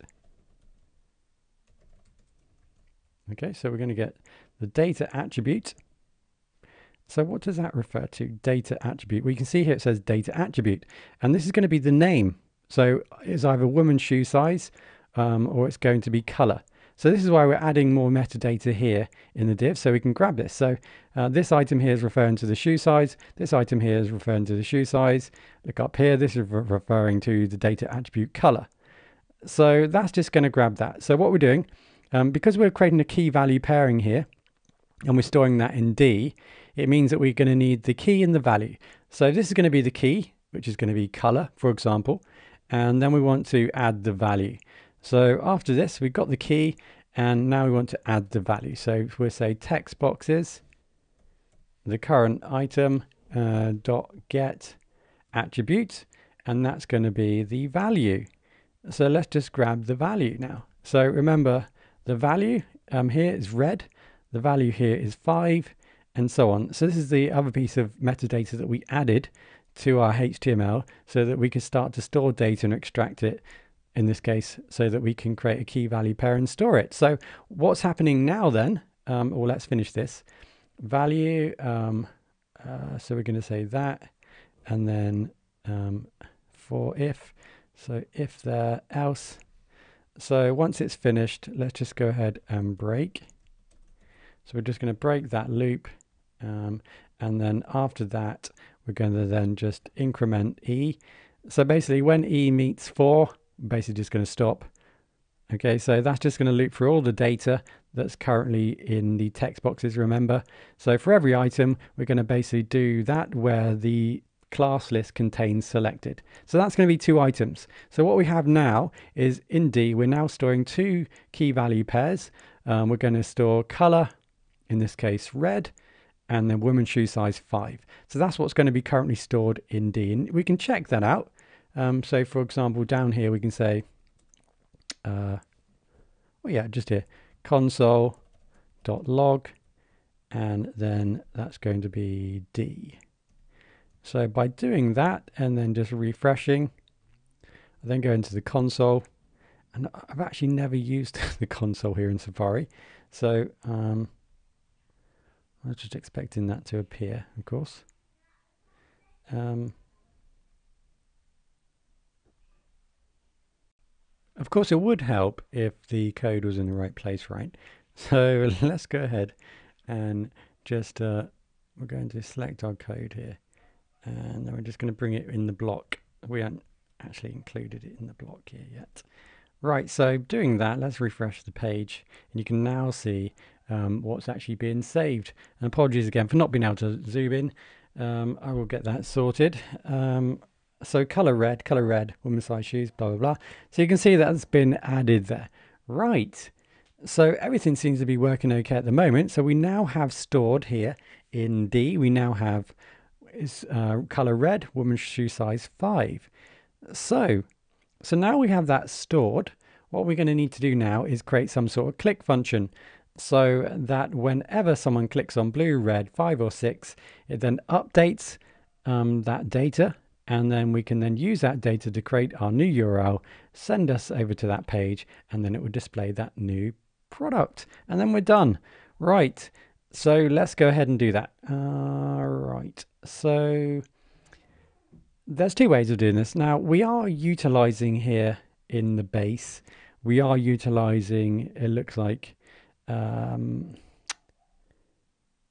or not. We're using the min bootstrap. So uh, we could use jQuery here um, to run this, but let's just go for a really kind of basic. I'll give you the jQuery code. You're going to need to bring in jQuery. So let's just head over to code.jquery.com, for example. And you can see here, this is going to show us all the CDNs. So I think that we'll just go for slim here, and then we can basically just copy this. This is 3.6.0 uh, slim. So oh, we can just copy it. Let's go back into our code. Let's just uh, add it right here. Okay, so that's jQuery. Um, so we can now kind of utilize jQuery to create simpler JavaScript if you like, but I'll show you both ways. So let's go ahead back, save view. Let's go back here into our code. Right, so now, we, like I said, we need to make a click function. So we need to detect the fact that someone's clicked on one of those items, and then we're going to update our data, and then we're going to create a new URL, and that's then going to forward the user to that new product. Well, that's the, the plan, at least. Right, so uh, let's get this started. So, uh, document. I say so a lot. Okay, add uh, event listener. So we're going to use, uh, this case, we're just going to use JavaScript. So document dot add event event listener. So we're going to um, uh, listen for the click. So one, someone, when, when someone clicks, so we're going to create a function. Okay. Right, so we've got a function. Um, so let's go ahead and define that. So let's say let uh, value equals e target dot get attribute. So what we're going to do here is we're going to get the value, right? So what we're doing here, let value. So let value um, so we're going to have a new variable here, value, and that's going to store um, the attribute, the get attribute. Uh, we want to store the value attribute. So going back to our code here again, let's just close this and then let's just open up our code. What we're going to do is we're going to, when someone clicks here, for example, what it's going to do, that one's blue, so we're going to get the value, so that's blue. So when we click here, we're going to capture the value blue which this refers to, right? So we're going to store that in value. So now we're storing in value blue. Right, so that's the first job. And now we go ahead and update our data. So in D, so E dot target um, dot get attribute. Uh, we're going to get the data attribute Okay, so we're now looking at our target and we're going to get the data attribute. Now what's in our data attribute? Uh, attribute. Um, so let's go back here in our data attribute. Remember we're storing the name, color. So basically we're just going to match, make a match in our D variable. So we're going to look for where the color equals color and then we're going to update it with the new value. So if, for example, it was um, woman's shoe size, we would look inside of D, find woman's shoe size, and we'd update it with the new value. So essentially, we're just updating um, the data that's currently stored here in D. So that's what we're doing. We're just going to update it. So we're going to get the um, the data attribute that's being clicked on and update that, or make a match and update that. And then we're going to then let's get this right. Um, so that's going to equal e dot uh, target get attribute value. So we're going to update the value in D where the data attribute equals whatever's data attribute is of the item that we clicked. So for example, we click on blue. This is uh, blue. We grab the data attribute color. We then go into our D data and then we look for color and then we're going to update it with the new item that we've clicked on in this case the value which is going to be blue right so hopefully that makes sense uh, so here we're going to say value so that updates it Okay. So uh, now we've done that, let's go ahead now and build a new URL. So let's say let uh, query string equals, and then we're going to build URL, URL um, with parameters, right? So we're going to build a new URL with parameters, and we're going to say d. Okay, so we're going to pass in d, and then that's going to be a function that we're going to build in a minute that actually kind of manages and does that. So let's go ahead and build that function. So let's just double check that.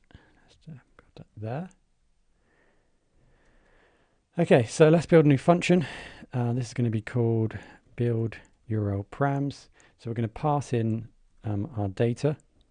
Okay, um, then we're going to then essentially just build this. So we're going to say var search params. So we're going to grab that data, search params. Oh, sorry. We're going to create an, we're going to build and then we're going to store um, the output in search params because what we're going to do, we're going to loop through this data. Now what we're passing in, obviously, is D, which is currently storing color equals whatever and shoe size equals whatever. So there's multiple items in there. So what we're going to need to do is loop through and then create our URL. So for um, var d in data, so data is what we passed in. So for each item that goes into d, and then we're going to say search params.push.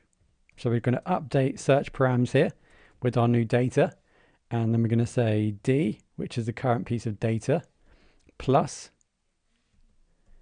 equals plus uh, data D. Okay, so then we're going to return. So we're going to return that data back over here. So return search params dot join. Um, so we're going to join it all together um, if there is any with an and. Okay, so what you can do here is use a console.log and then just kind of um, have a look at all the data that's being currently utilized if you're not too sure what's going on here. So essentially, let's remember what we're trying to build is we're trying to loop through our data. We're, we're trying to essentially say color, that's the value, then equals, and then the value. That's what we're trying to build. And then, of course, for each item, we then add an AND, and then add the next value a param value name, size, and then that equals size, and that equals whatever it equals. So that's what we're trying to build here. So you can see that D plus equals, so plus is the concatenator, right? So D, not plus as in add it together, it's concatenator. So D, the value in D currently, and then equals plus data D. Now, what is the difference here, D and D? So remember, this is a key value here that we're storing in D. So D here is referring to the key, and data D is referring to the value. So you can see what we're putting together. If, for example, D was currently storing um, color equals, um, so color colon one, or red, sorry. If that was just storing that, essentially what we're doing here, we're getting the key of it, which is going to be color, and then the value is going to be red, for example, and then we're putting the equals in between it. So what gets returned here is going is going to say in in simple terms, it's going to say color equals red. And then what we're doing is we're adding that all together with join. Um, uh, insert params, yep. Uh, dot join with and, and then we're essentially just returning.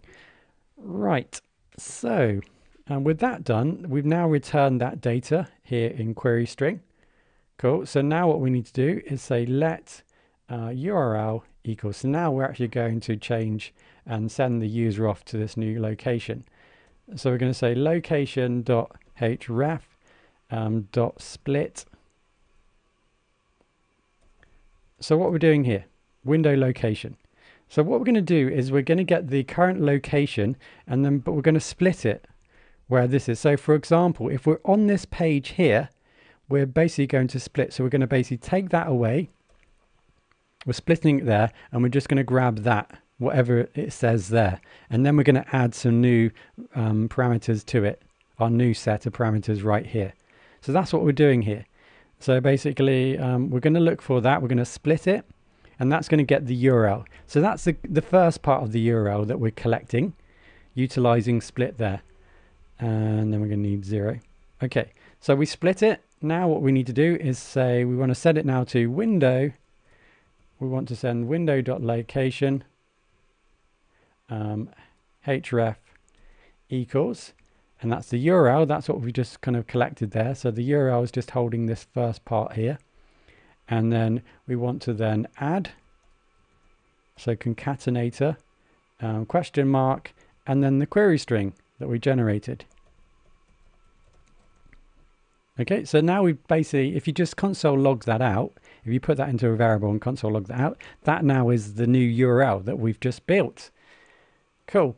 Right, so let's go ahead and comma there, uh, false, and then finish that off.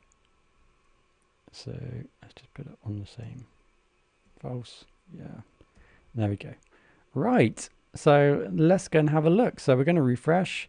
I'm going to click on this blue, and you can see what's happened now. I've taken to color blue, women's shoe size, shoe size equals 5. So let's go down to 6. I'm going to click on 6 and now you can see we've gone across to uh, women's shoe size 6 only. Ah, okay. So potentially there's an error here because it's only returning that. Let me just close this down. Let's have a look to see what's going on. So first of all, let's just uh, let's just fix this here. So let's go back into our code. Now remember what we did here. We returned one item and we use get. So all we need to do here in our in our query, which we run when there are values being passed through, then we just need to also use get here and that should resolve that little problem. So now we're returning an error. So this is um, the thing. So it actually returned two items. And the reason why it did that because our our parameters isn't correctly created. So let's go for blue. So you can see here we have now color equals blue and women's shoe size equals 5. And then let's now select red. And you can now see we've got a problem because it just says color red. So clearly, clearly, clearly, clearly, um, there is an issue here that we need to fix. So let's see if we can work this out. Now this is um, fairly tricky to work out. So uh, bear with me here. So I had a little think and I think what the problem is here is we haven't actually used annotate on the top query. I think that's what the problem is because we're not returning this selected item, for example. So what we're going to need to do is let's just go ahead and just copy from annotate to get in the lower query. And let's just add it here. Uh, yeah, let's just add it here.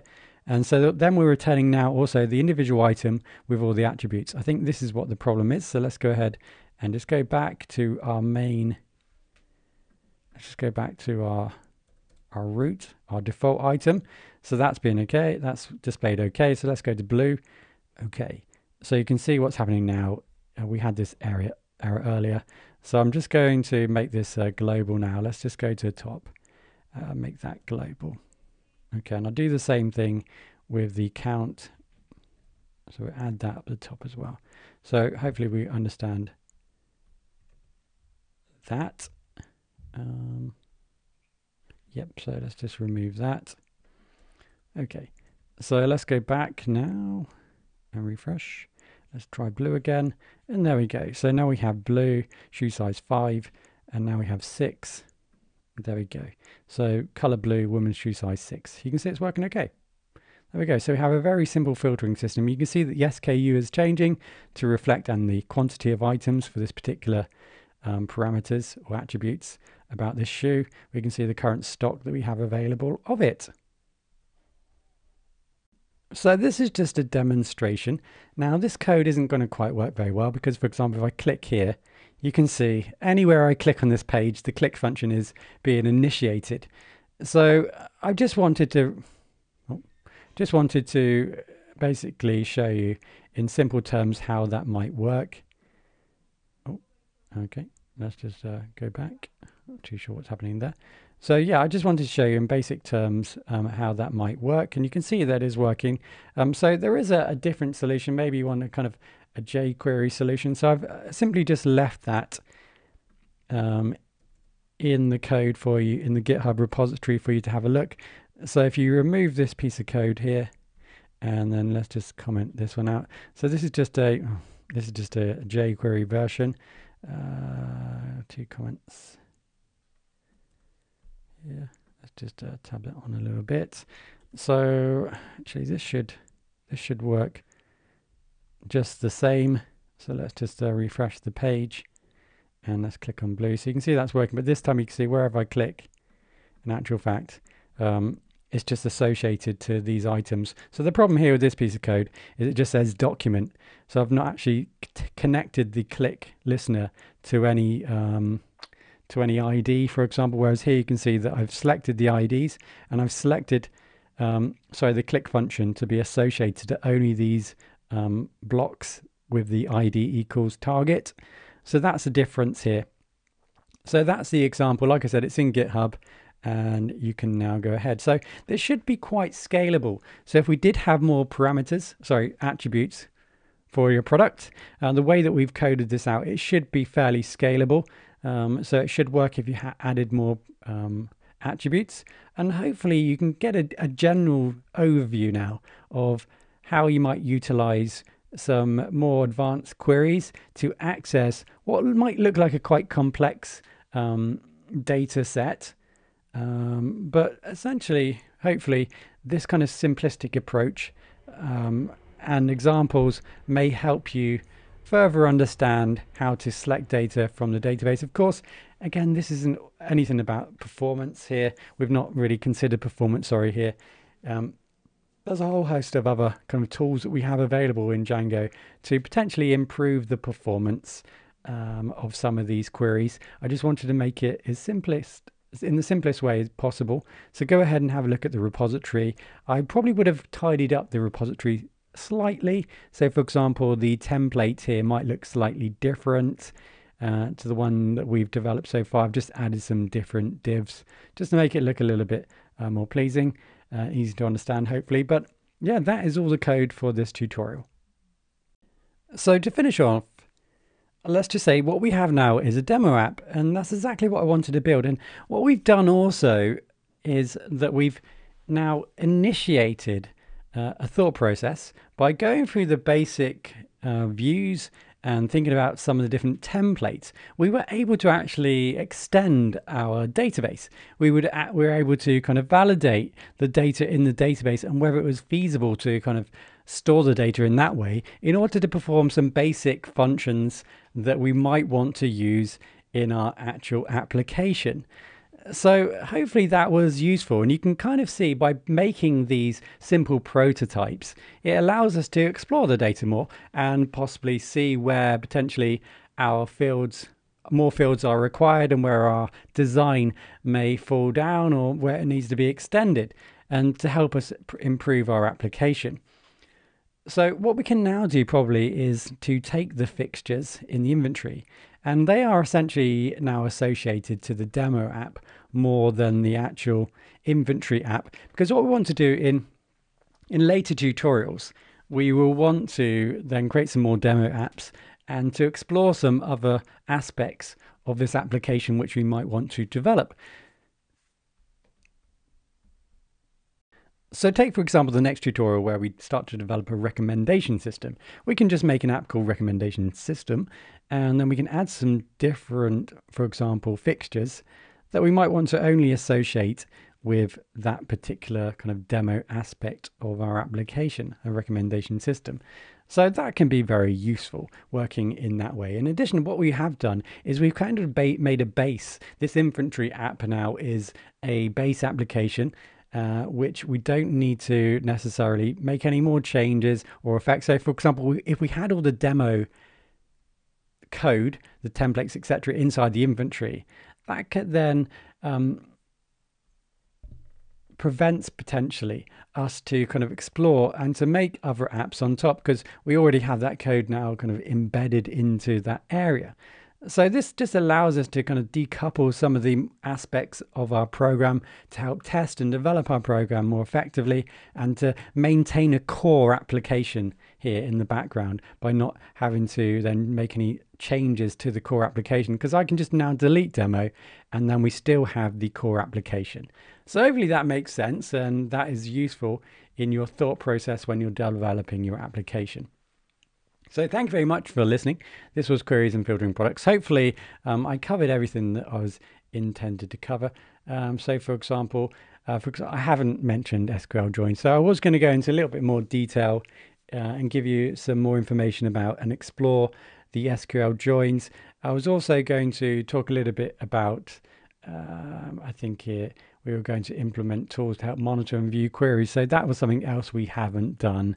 I think there's quite a lot here, and I did want to make this tutorial as short as possible because I know there are difficulties when you go over a certain length um, of translating the video. There are some complications there. So that's just something then that we'd do in uh, an up and coming tutorial. So last of all, thank you very much for listening. Hopefully you did get some value from this tutorial. It's always good to get some feedback. I did try and make sure that I coded everything out because I know that sometimes you get a little bit upset when I start to copy and paste things in and, and explain more rather than see see me type things out. Um, yeah, any feedback that you have will be great, and I hope to see you in the next tutorial.